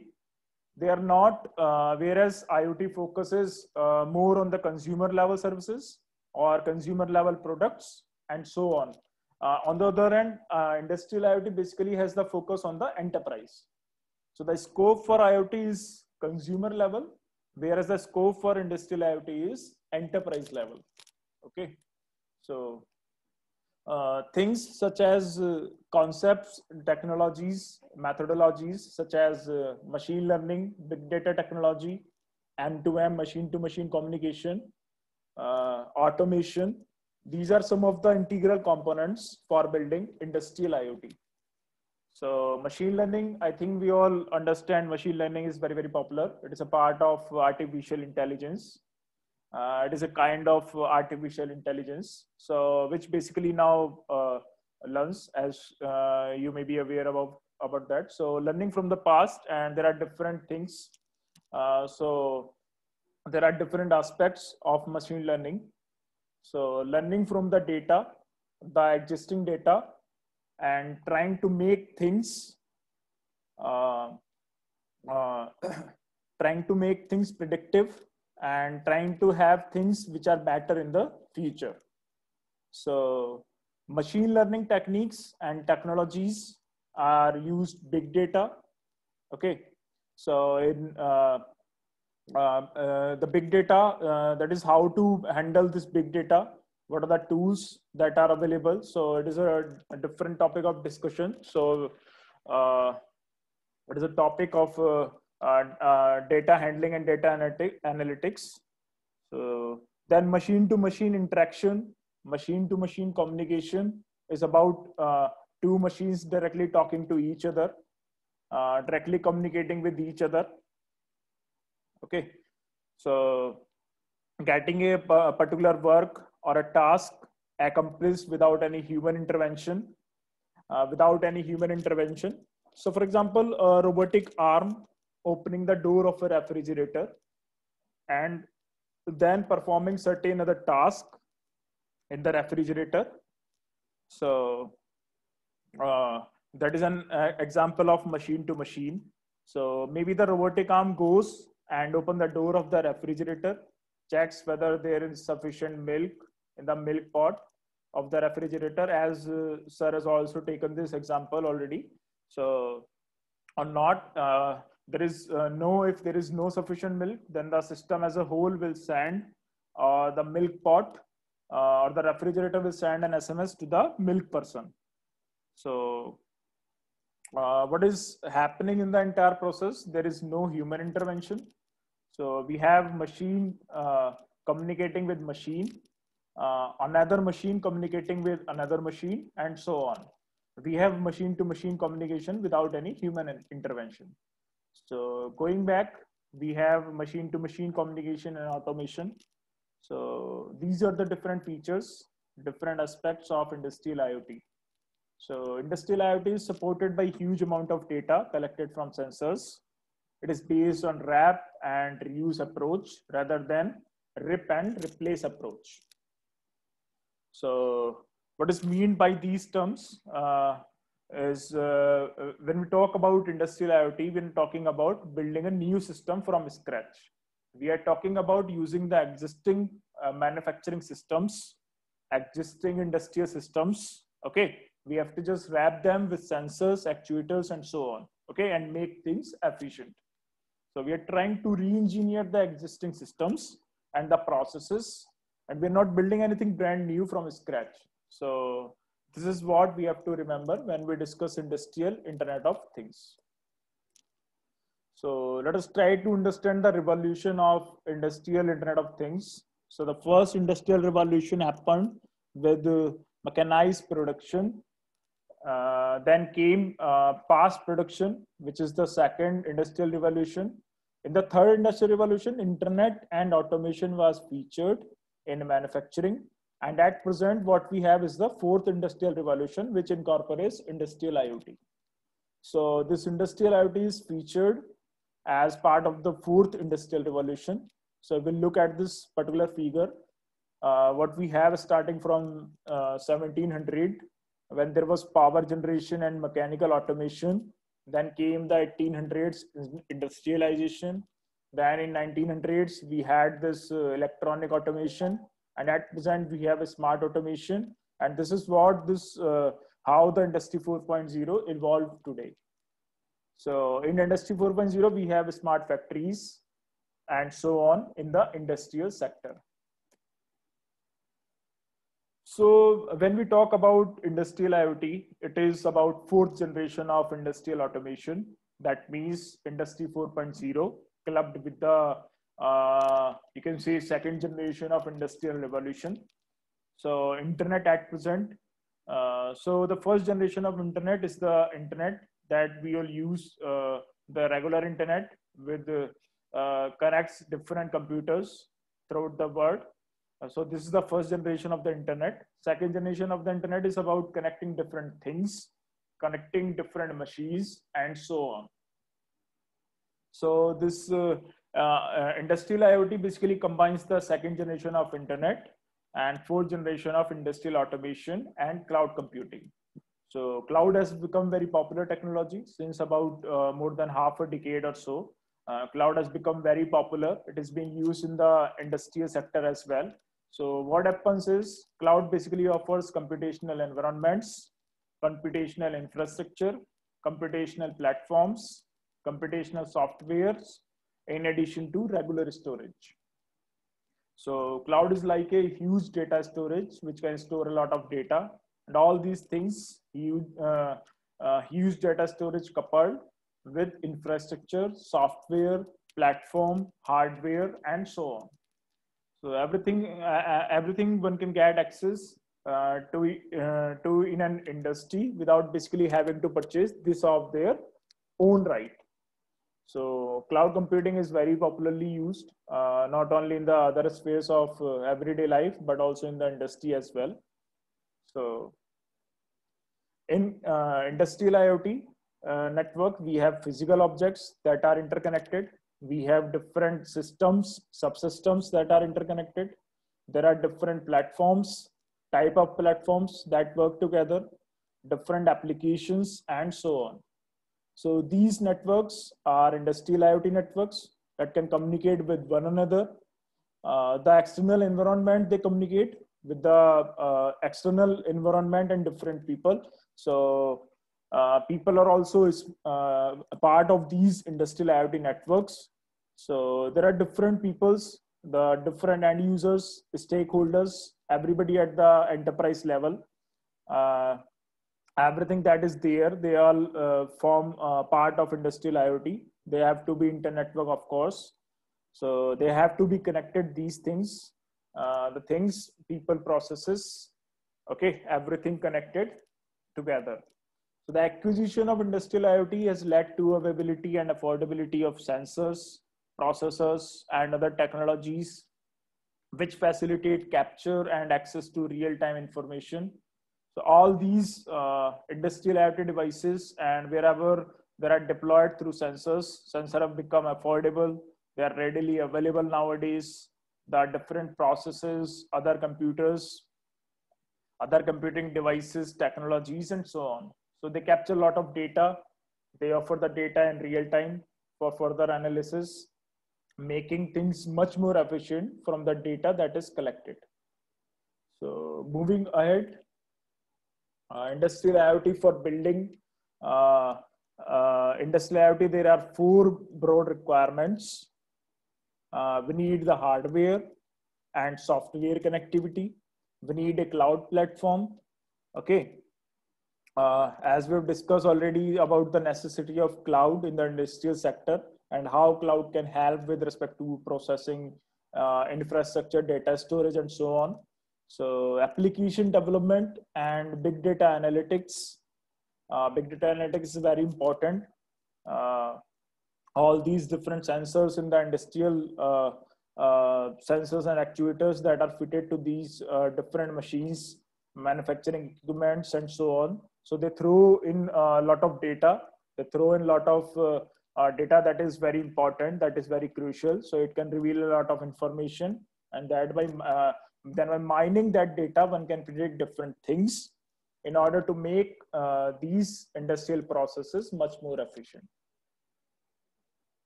So different other views of industrial IoT requirements. One is access, access with respect to anytime, anywhere, uh, anything connectivity and uh, anything connectivity is very important it is a third dimension that has been added to anytime and anywhere which uh, uh, which was a pervasive which was the vision of uh, pervasive communication pervasive systems. So access one can have access anything that can be accessed at any time from anywhere in industrial iot end-to-end security is important and that is only important for industrial IoT, uh, not only for industrial IoT, but also for uh, IoT-based system also. So in fact, for any computer-based system, the, the system security is important. So user experience is also very crucial. So ultimately, it is all about offering services to the users, different stakeholders, so user experience has to be taken into account as one of the fundamental requirements for building industrial IoT. So what the user exactly want, how their uh, problems can be addressed, how it can be solved the problems, and how through the use of the system that is being developed the industrial IoT system. Okay, so the user can do things better and how their experience as a whole can be improved. So then we have uh, transition to smart machines. So machines by uh, adding sensors, actuators, etc. We are making the machine smart. We are making the, the asset. The asset management is very important. Uh, though asset managements, you know, uh, uh, through these different sensors, actuators, the assets can be managed. The industrial assets that can be managed in a much much more efficient way so how the assets can be managed, this is one of the requirement that have to be considered for building industrial IoT. So then big data and cloud are very important. Cloud offers storage, computational efficiency, and so on. So without basically having one uh, one to procure or by uh, procure and deploy this uh, computational infrastructure at their own workplace or industrial uh, uh, in the industry and uh, big data. So uh, all these sensor actuators, each and everything that we have talked about. So the at the enterprise level, the people process things, systems, and so on. So they're going to throw in a lot of data. These data are going to be sent uh, quite the data are going to be sent in real time and they have characteristics they are not only big in volume they have uh, uh, they have come in huge velocities and uh, there are different type of uh, data, uh, test data speech data multimedia data and any other type of data like images video etc all of which coming at the same time so it has to be handled and so on so this is what we are going to discuss. So when we talk about how to handle uh, data handling and how to analyze the data that is received. So what uh, uh, what is required is to have a virtualized version uh, of a physical plant. So through industrial IoT systems, what we are trying to build is a virtualized plant corresponding to a physical industrial plant so these physical plant and the different machines in the plant are fitted with different sensors, which throw in lot of data and sensor readings. And from these virtualized plant, lot of different type of instruction can be sent to the physical plant. And the embedded systems that, that are attached to these machines, uh, to these in instructions can help to manure, uh, to perform different operations on these machines. So these are uh, dif uh, different design considerations for building industrial IoT. To use an IoT device for industrial applications, these design objectives have to be considered. Energy is uh, paramount energy with respect to the time for which the IoT device can operate with limited power supply. So we have limited power supply and we want to extend the lifetime of the IoT device that is installed, and that is fitted with an industrial machine so latency is very crucial. It corresponds uh, to the time that is required to transmit the data. Uh, the latency, uh, it has to be minimized because uh, uh, let us say that we are talking about sensors that are fitted to a welding machine. So uh, if the latency is not very minimum, then what is going to happen by the time the instruction reaches the machine or the data is sent to the operator, or from the operator to the machine, what happens is the welding machine might have performed more welding. So even in a fraction of a second, so it, it may have done. So more uh, part will get welded, which is not required. So precision with respect to the time is very crucial. And when you talk about the uh, latency of the operations, so latency is the in the transmission of the data is very crucial. Latency has to be minimized to the extent which is possible. Uh, throughput is quite understandable. We need maximum data to be transmitted across the industrial IoT network. Scalability likewise is very understandable. We are talking about not just one or two machines, but large number of machines in the industrial IoT sphere. Topology, how these different, uh, uh, how these are different because ultimately what is going to happen is uh, these sensors and these communication devices they have they are going to be internetwork so what we are going to have is a network topology and uh, uh, there are uh, different devices and different specifications as per the topology available and they have been manufactured individually by different vendors so interoperability is very important not only that interoperability is important, but how these devices from the network uh, is very crucial as well. So the overall network topology form out the devices and how these devices interoperate with one another is uh, something that has to be taken as one of the important primary design consideration in building industrial IoT.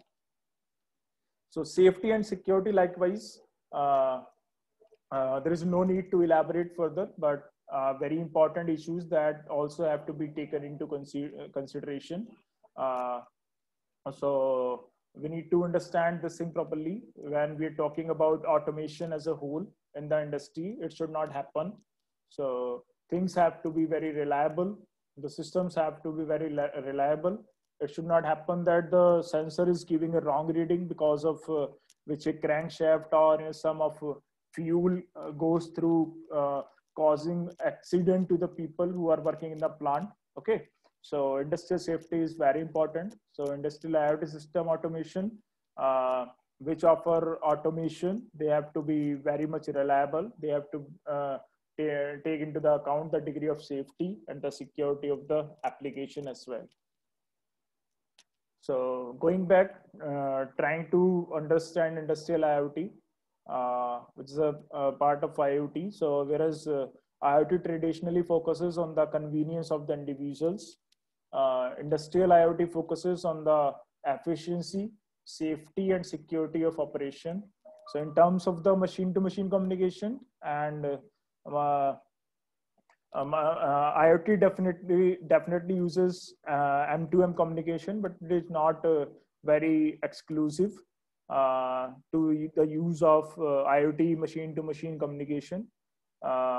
Uh, uh, the in, in in IoT that is uh, limited. So whereas industrial IoT extensively uses this M2M communication, okay, it is extensively used in industrial IoT the whole industrial operation in a plant is automated. So one machine talking to another machine, second machine talking to third and to fourth and so on. So this is quite extensive. It is quite present in the industrial sector, industrial, uh, that is industrial IoT. So industrial IoT heavily depends on M2M communication. So whereas this uh, traditional IoT focuses on applications at the consumer level, and on the other hand, industrial IoT basically focuses on application at the industrial level and at the enterprise level. So let us look at one more aspect. So here M2M, when we talk about uh, uh, M2M, so M2M and uh, IoT. So M2M focuses on device to device communication.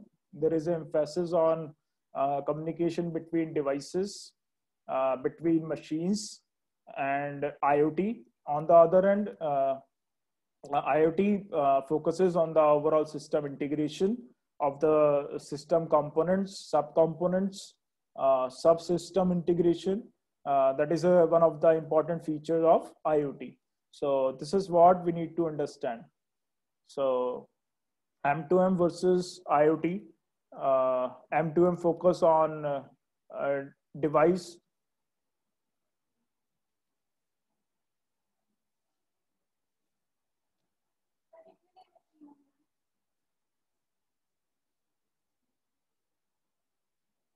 अभी lecture चल रहा है आधे घंटे में आना आपको ठीक है गेट बैठ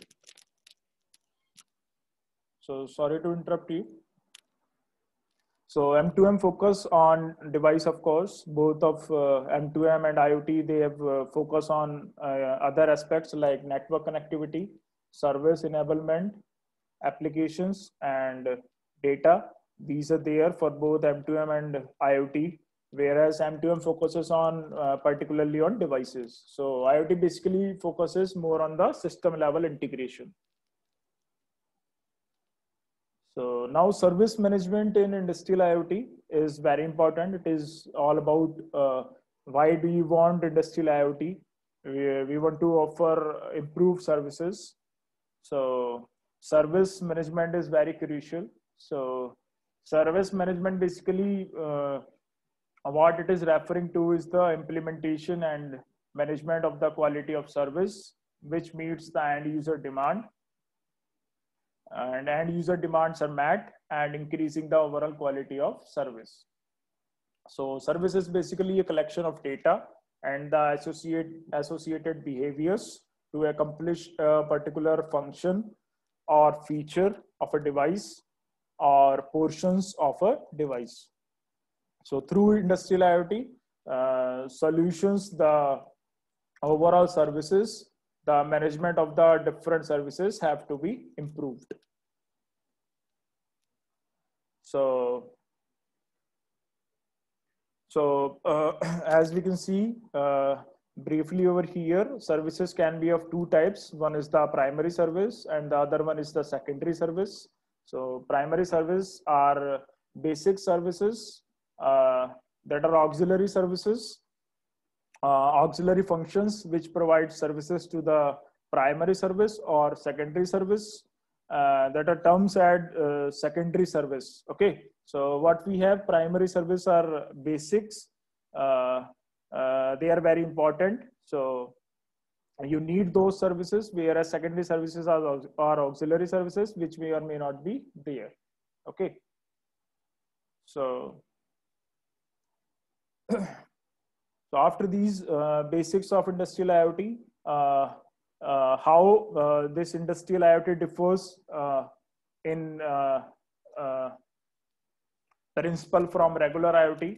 So what is the difference between IoT and M2M and having uh, understanding of all of these different basic concepts. So uh, now uh, we see the specific applications of industrial IoT in the industrial sector. So some of the key application areas of industrial IoT are manufacturing industry, healthcare industry, transportation, and logistics, mining, and firefighting.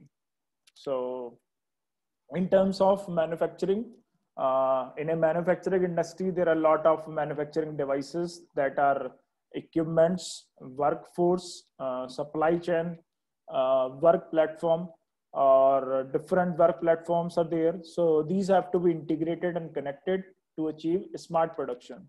So they have to be inter-network.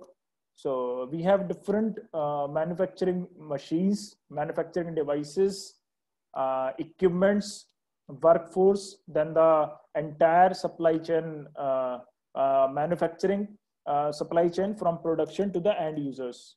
Uh, the entire supply chain and then the work platform also. So all of these have to be integrated and connected to improve the production. Uh, that is overall industrial production.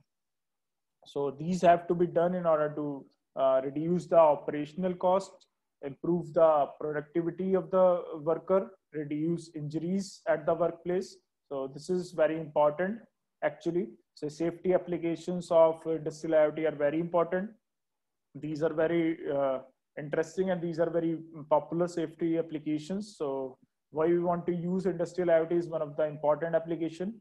Uh, that is to improve the safety in the manufacturing plant in the industrial uh, uh, different other type of plants so resource optimization and waste reduction is also very important uh, this is a very important problem uh, that is the resource optimization okay? So uh, that has to be taken care of so of waste reduction as well as uh, end-to-end automation. So this is very important and uh, it's very important requirement in the manufacturing industry and has to be taken care of. So in the second application of industrial iot uh, is in the uh, healthcare sector. So uh, as you know, using industrial IoT solutions, patents can be continuously monitored due to the implanted on body sensors, which can improve the treatment outcome or overall cost of treatment can be reduced. Uh, improved disease uh, detection can be done and improved accuracy from the data uh, that is uh, that is the that are collected uh, that can be achieved and overall the drugs uh, that are administered on the patients and the overall inventory.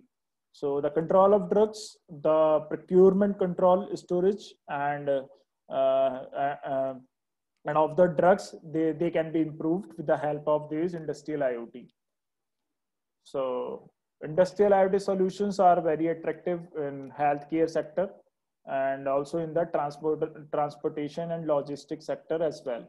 So in order to improve transportation safety efficiency of transportation intelligent transportation system that can be developed which consists of connected vehicles. So one of the key uh, building blocks for transportation uh, industrial iot applied to transportation in the concept of uh, uh intelligent transportation system or connected vehicles So intelligent transportation systems come in different forms. We have the concept of, uh, uh, in ITS, we have the concept of vehicle to sensor connectivity, vehicle to vehicle connectivity, vehicle to internet connectivity, and vehicle to road infrastructure connectivity.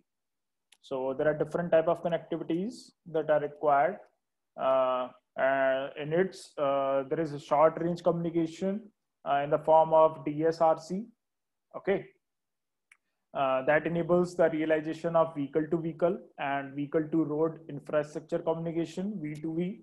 Uh, then we have V2R. Sometimes it is also known as V2I.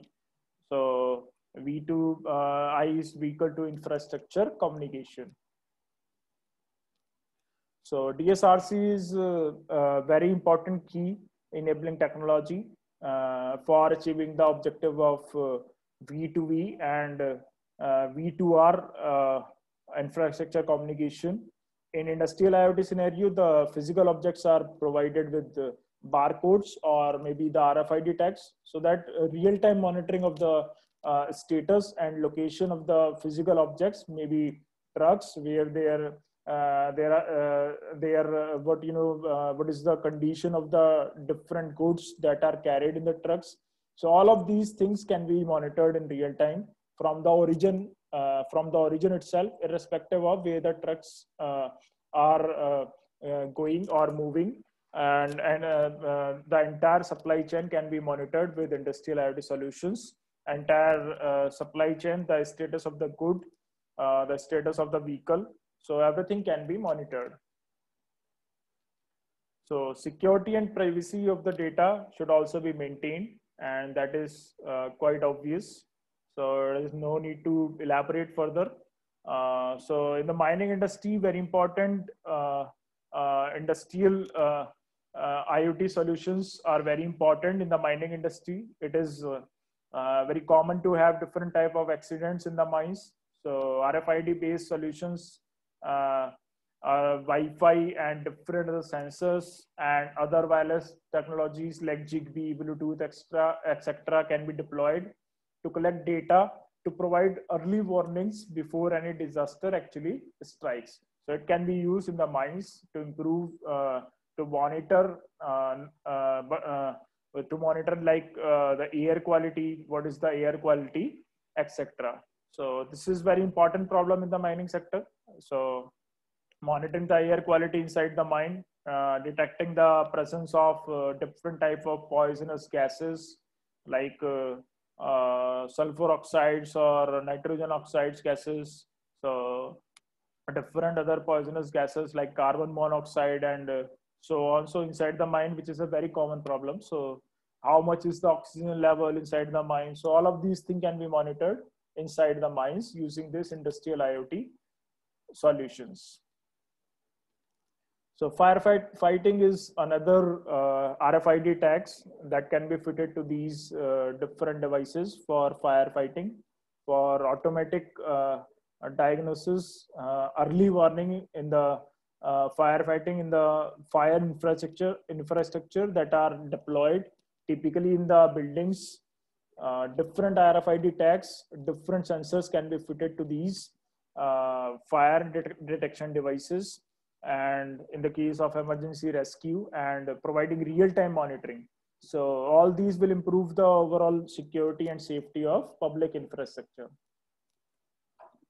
So some of the examples of uh, industrial IoT include uh, use of unmanned aerial vehicles or the drones to inspect oil pipelines, monitoring food safety using sensors, minimizing work workers exposure to uh, you can say uh, noise chemicals, hazardous materials, and so on. So unmanned marine vehicles can be deployed to collect data annually or throughout the year or throughout the months and so on without any fuel or crew.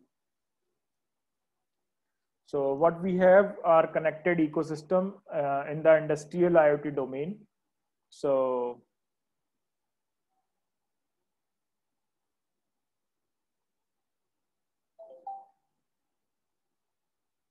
So uh, what we have is we have traditional supply chains and these traditional supply chains in these industries are linear typically linear in nature. So it is required to shift the business focus from products to outcomes. And for that these digital ecosystems can come uh, industrial iot based uh, digital ecosystem can come to rescue. So digital ecosystems progress uh, at much faster rate than the physical industries and so it can quickly adapt uh, to the changes in the external environments. So it is required to integrate uh, digital technologies with the human workforce. So industrial iot can be exclusively m2m so uh, we have to remember we have uh, we have humans in the loop so humans will work with machine and the overall outcome will be improved uh, the productivity of the system. So industrial iot will perform uh, reform uh, and redefine the skills of the workers. New jobs can be created with the help of industrial iot. Uh, it is not that uh, you know, typically people think that uh, automation or industrial IoT based solution will cut down on the number of jobs, but that is not true. So new jobs get created because uh, new technologies get introduced. So things like uh, new composite industry, uh, precision uh, agriculture, or digital healthcare, digital mines, these require skilled manpower, and these skilled manpower is uh, what is required. So uh, this automation through industrial IoT is in uh, turn going to create new jobs with requiring new skill sets. Okay, so this basically uh, will not cut down uh, on the required number of jobs in the industry, but also it will create some new jobs. So robots have traditionally been used in the industry and uh, industrial IoT robots are a very important component. So uh, in a new form, in a new way, robots can be used. And these robots can sense, they can think, they can act, they can perform different tasks. So they will be formed with the ability to carry out repetitive tasks. Robots uh, will be more intelligent. They are more intelligent. Uh, they walk under the supervision of, uh, they can also work under the supervision of human beings. Their availability, uh, increases and they can program reprogrammed and so on. So to perform new tasks and the way they can learn faster.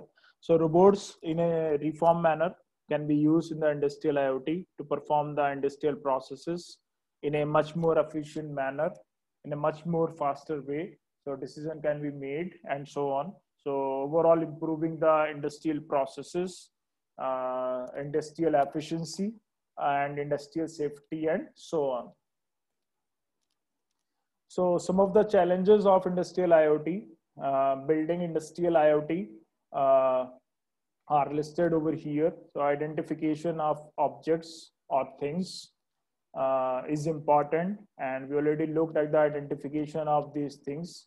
So how do you associate identifiers to these things? We have already looked into these in the context of uh, regular IoT as the same applies here as well. So uh, managing huge amount of data is another challenge to be worked on in order to address the problems of industrial IoT, in order to deploy industrial IoT solutions, uh, integrating existing infrastructure into new industrial IoT infrastructure and enabling data storage.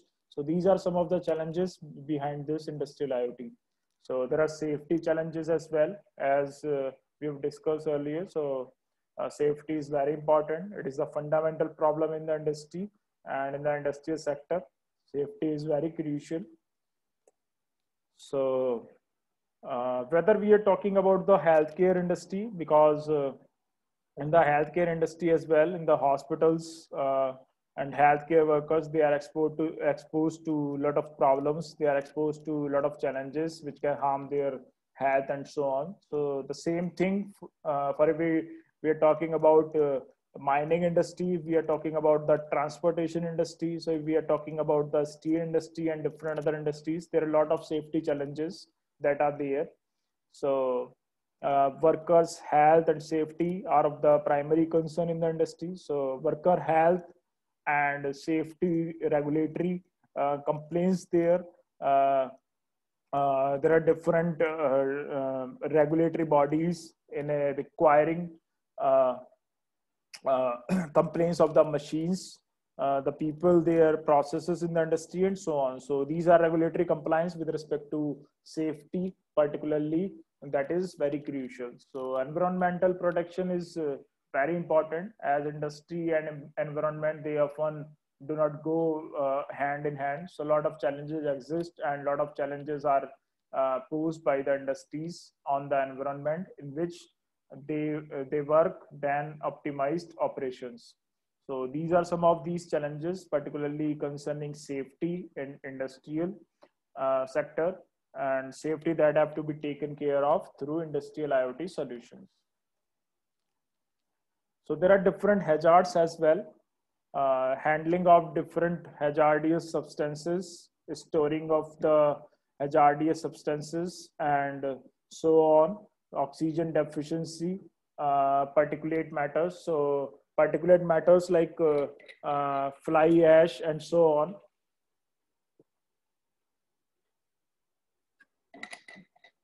and then radiation a different type of radiation electromagnetic radiation and so on and the psychological stress so all these are different type of hazards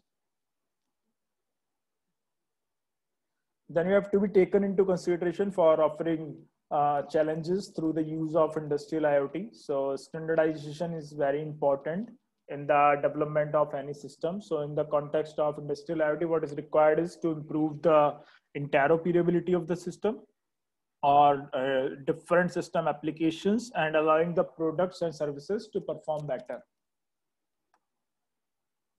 So in terms of standardization, the problem related to uh, standardization include interoperability, uh, that is uh, semantic interoperability. So there is a difference. So in semantic interoperability, basically one is focusing on data semantics. So the meaning uh, as you may be aware about the term interoperability in terms of uh, semantics is what uh, semantic interoperability specifically uh, takes care uh, uh, security and privacy and radio access level issues. Okay. So there are different privacy and security issues as well uh, the two most important concerns needed with industrial IoT are information security and data privacy protection uh, of the devices and the things can be tracked and monitored and connected. So there are chances of attack as it happens in any other type of networks as well. So this industrial IoT is also a network. It is a huge network where different machines or you can say crucial machines, uh, there are different systems humans, everybody is connected. So these are prone to different attacks. There could be different vulnerabilities in these networks. So consequently, uh, uh, so these have to be taken care of the security issues that have to be taken care of. And privacy is very crucial because of the, uh, from the industry, there are different data, uh, the sensors that are collecting the data. So it is become, it becomes very crucial. So the privacy of these data have to be taken care of. So information security, uh, data privacy uh, protection uh, of all these are very crucial issues, issues in the context of industrial IoT, uh, building of industrial IoT. So for example, uh, in the healthcare industry, the medical data of the patient must not be tampered or altered by any person. Uh, in the middle in the food industry, the deterioration of any food item that is being sent to the company should be kept confidential as it will affect the reputation of the company. So these are the, uh, some of the things which have to be taken care of.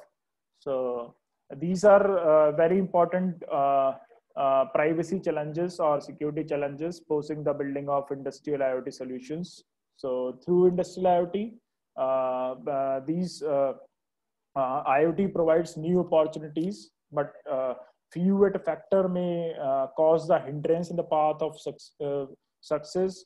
These include the lack of vision and leadership, lack of understanding of values among the management employees, or uh, like costly sensors and inadequate infrastructure. So these are some of the risks that are uh, faced by people who want to, uh, the management who want to deploy industrial IoT in the industry. So other challenges include improvement at the sensor miniaturization, uh, miniaturization of the sensors that is very crucial so we're talking about uh, day by day, we are talking about very small scale or small size sensors that can perform as good as, uh, if not better than these existing big size sensors. So miniaturization of the sensor is very important nowadays. We are talking about uh, namespace sensors, which make the uh, sensor the sh shape of the size of the sensor uh, very small and these seniors can perform very well as well uh, even if they are small in size. So they can perform very well and uh, uh, overall uh, through the miniaturization process, the overall cost and the energy consumption uh, can be brought down and the energy consumption can also be addressed, can be improved because a small size sensor is likely to consume less energy compared to bigger size sensors. So the other challenges with respect to manufacturing. So we're talking about manufacturing. Uh, typically, these are software-based, uh, computer-based. So these are used to improve the overall operational efficiency. So predictive maintenance, savings on scheduled repairs, reduced maintenance, cost maintenance, uh, and reduced number of breakdowns are important challenges as well and important issue that have to be taken into consideration while trying to introduce industrial IoT in the manufacturing industry. So there was an industry, the RT Tech software. So this basically particularizes uh, in software, which improves the industrial facilities efficiency and improves the overall industrial productivity. So energy management solution, which leads to reduction in the plants highest variable cost was produced uh, that was designed and this particular company automates uh, the process of mapping and managing energy consumption. So the products that they de developed include M2M based communication uh, and intelligent radio modems. Uh, these are some of these products and their specifications given over here and these devices provide easy maintenance and installation. They can be connected to IP or non-IP devices to extend the capability to monitor and communicate with other technologies. So this is a solution that they developed, product uh, uh, that they developed is known as Control, which offers IO link to the master gateway uh, so it can be easily integrated into the industrial network with existing and new installation. So it supports Ethernet and IP and also supports the Modbus TCP. So there are different benefits of industrial IoT, improving the connectivity among devices, improving efficiency, updating the scalability. So easily one can scale up uh, by the use, uh, uh, scale up in the industrial sector, industrial processes that can be scaled up. So industrial, uh, uh, the overall industrial productivity, productivity can be scaled up through the use of industrial IoT. Reduction in the operation time that can be achieved in the industry through the use of industrial IoT solutions. Uh, remote diagnosis can be performed quite efficiently with the help of industrial IoT and uh, industrial IoT solutions offers cost effective solutions also. So in terms of uh, research, uh, recent research trends, one is to improve the communication among the different things or objects to second is to develop uh, energy efficient uh, uh, techniques so as to reduce power consumption by the sensor. Third is to develop uh, context uh, aware internet of things uh, middleware for better understanding of the sensor data. And the fourth is to create smart objects with larger memory processing and reasoning capabilities. So, so these are some of the different features, uh, the different applications of industrial IoT and how industrial IoT can improve the productivity in the industry, in the different plants, uh, manufacturing plants, the healthcare sector, and so on. So industrial IoT systems uh, that they have a requirement for very small sized, uh, less expensive sensors, which are easily accessible. And so this basically will help in the uh, furthering the use of industrial IoT more in the industry. Then the second thing is the assembly line. So controlling the assembly line automates uh, monitoring control and maintenance of the industrial processes and the industrial product lines, these can be achieved uh, efficiently with the help of industrial IoT. So this is uh, all about this industrial IoT. So I hope you get an idea about how uh, the work is going on in the field of industrial IoT and how we can uh, uh, we can uh, get into it and we can find a solution of a problem uh, to work in the field of this industrial IoT. I hope you get an overview uh, to get a smart solution for the industrial sector as well using this Internet of Things. So thank you very much. So if there is any uh, query, so you can ask.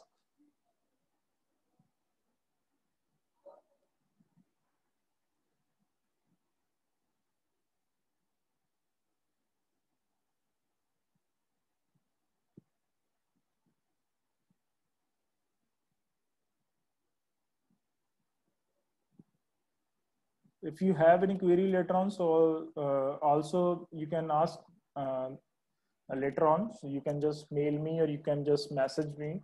So uh, I will try to uh, answer your query if possible to me. So thank you very much. Uh, there is one more announcement. I will share the Google link for today's uh, feedback and attendance. So you just all have to Uh, fill that form and uh, uh, I will share that through mail or as well as on WhatsApp group. So just have to uh, fill that form and tomorrow is the last day of our uh, FDP. So there will be some small assessment test that will be there tomorrow.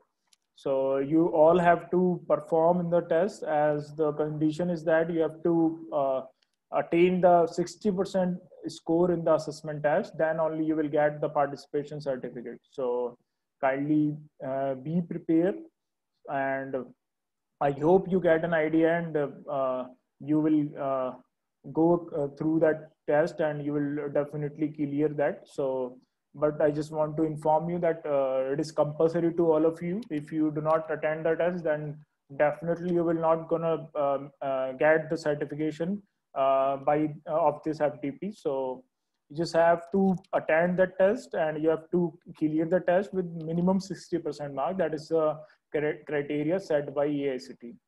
So that is all I just want to uh, uh, mention you. So thank you very much. Thank you very much. Have a nice day. Bye bye.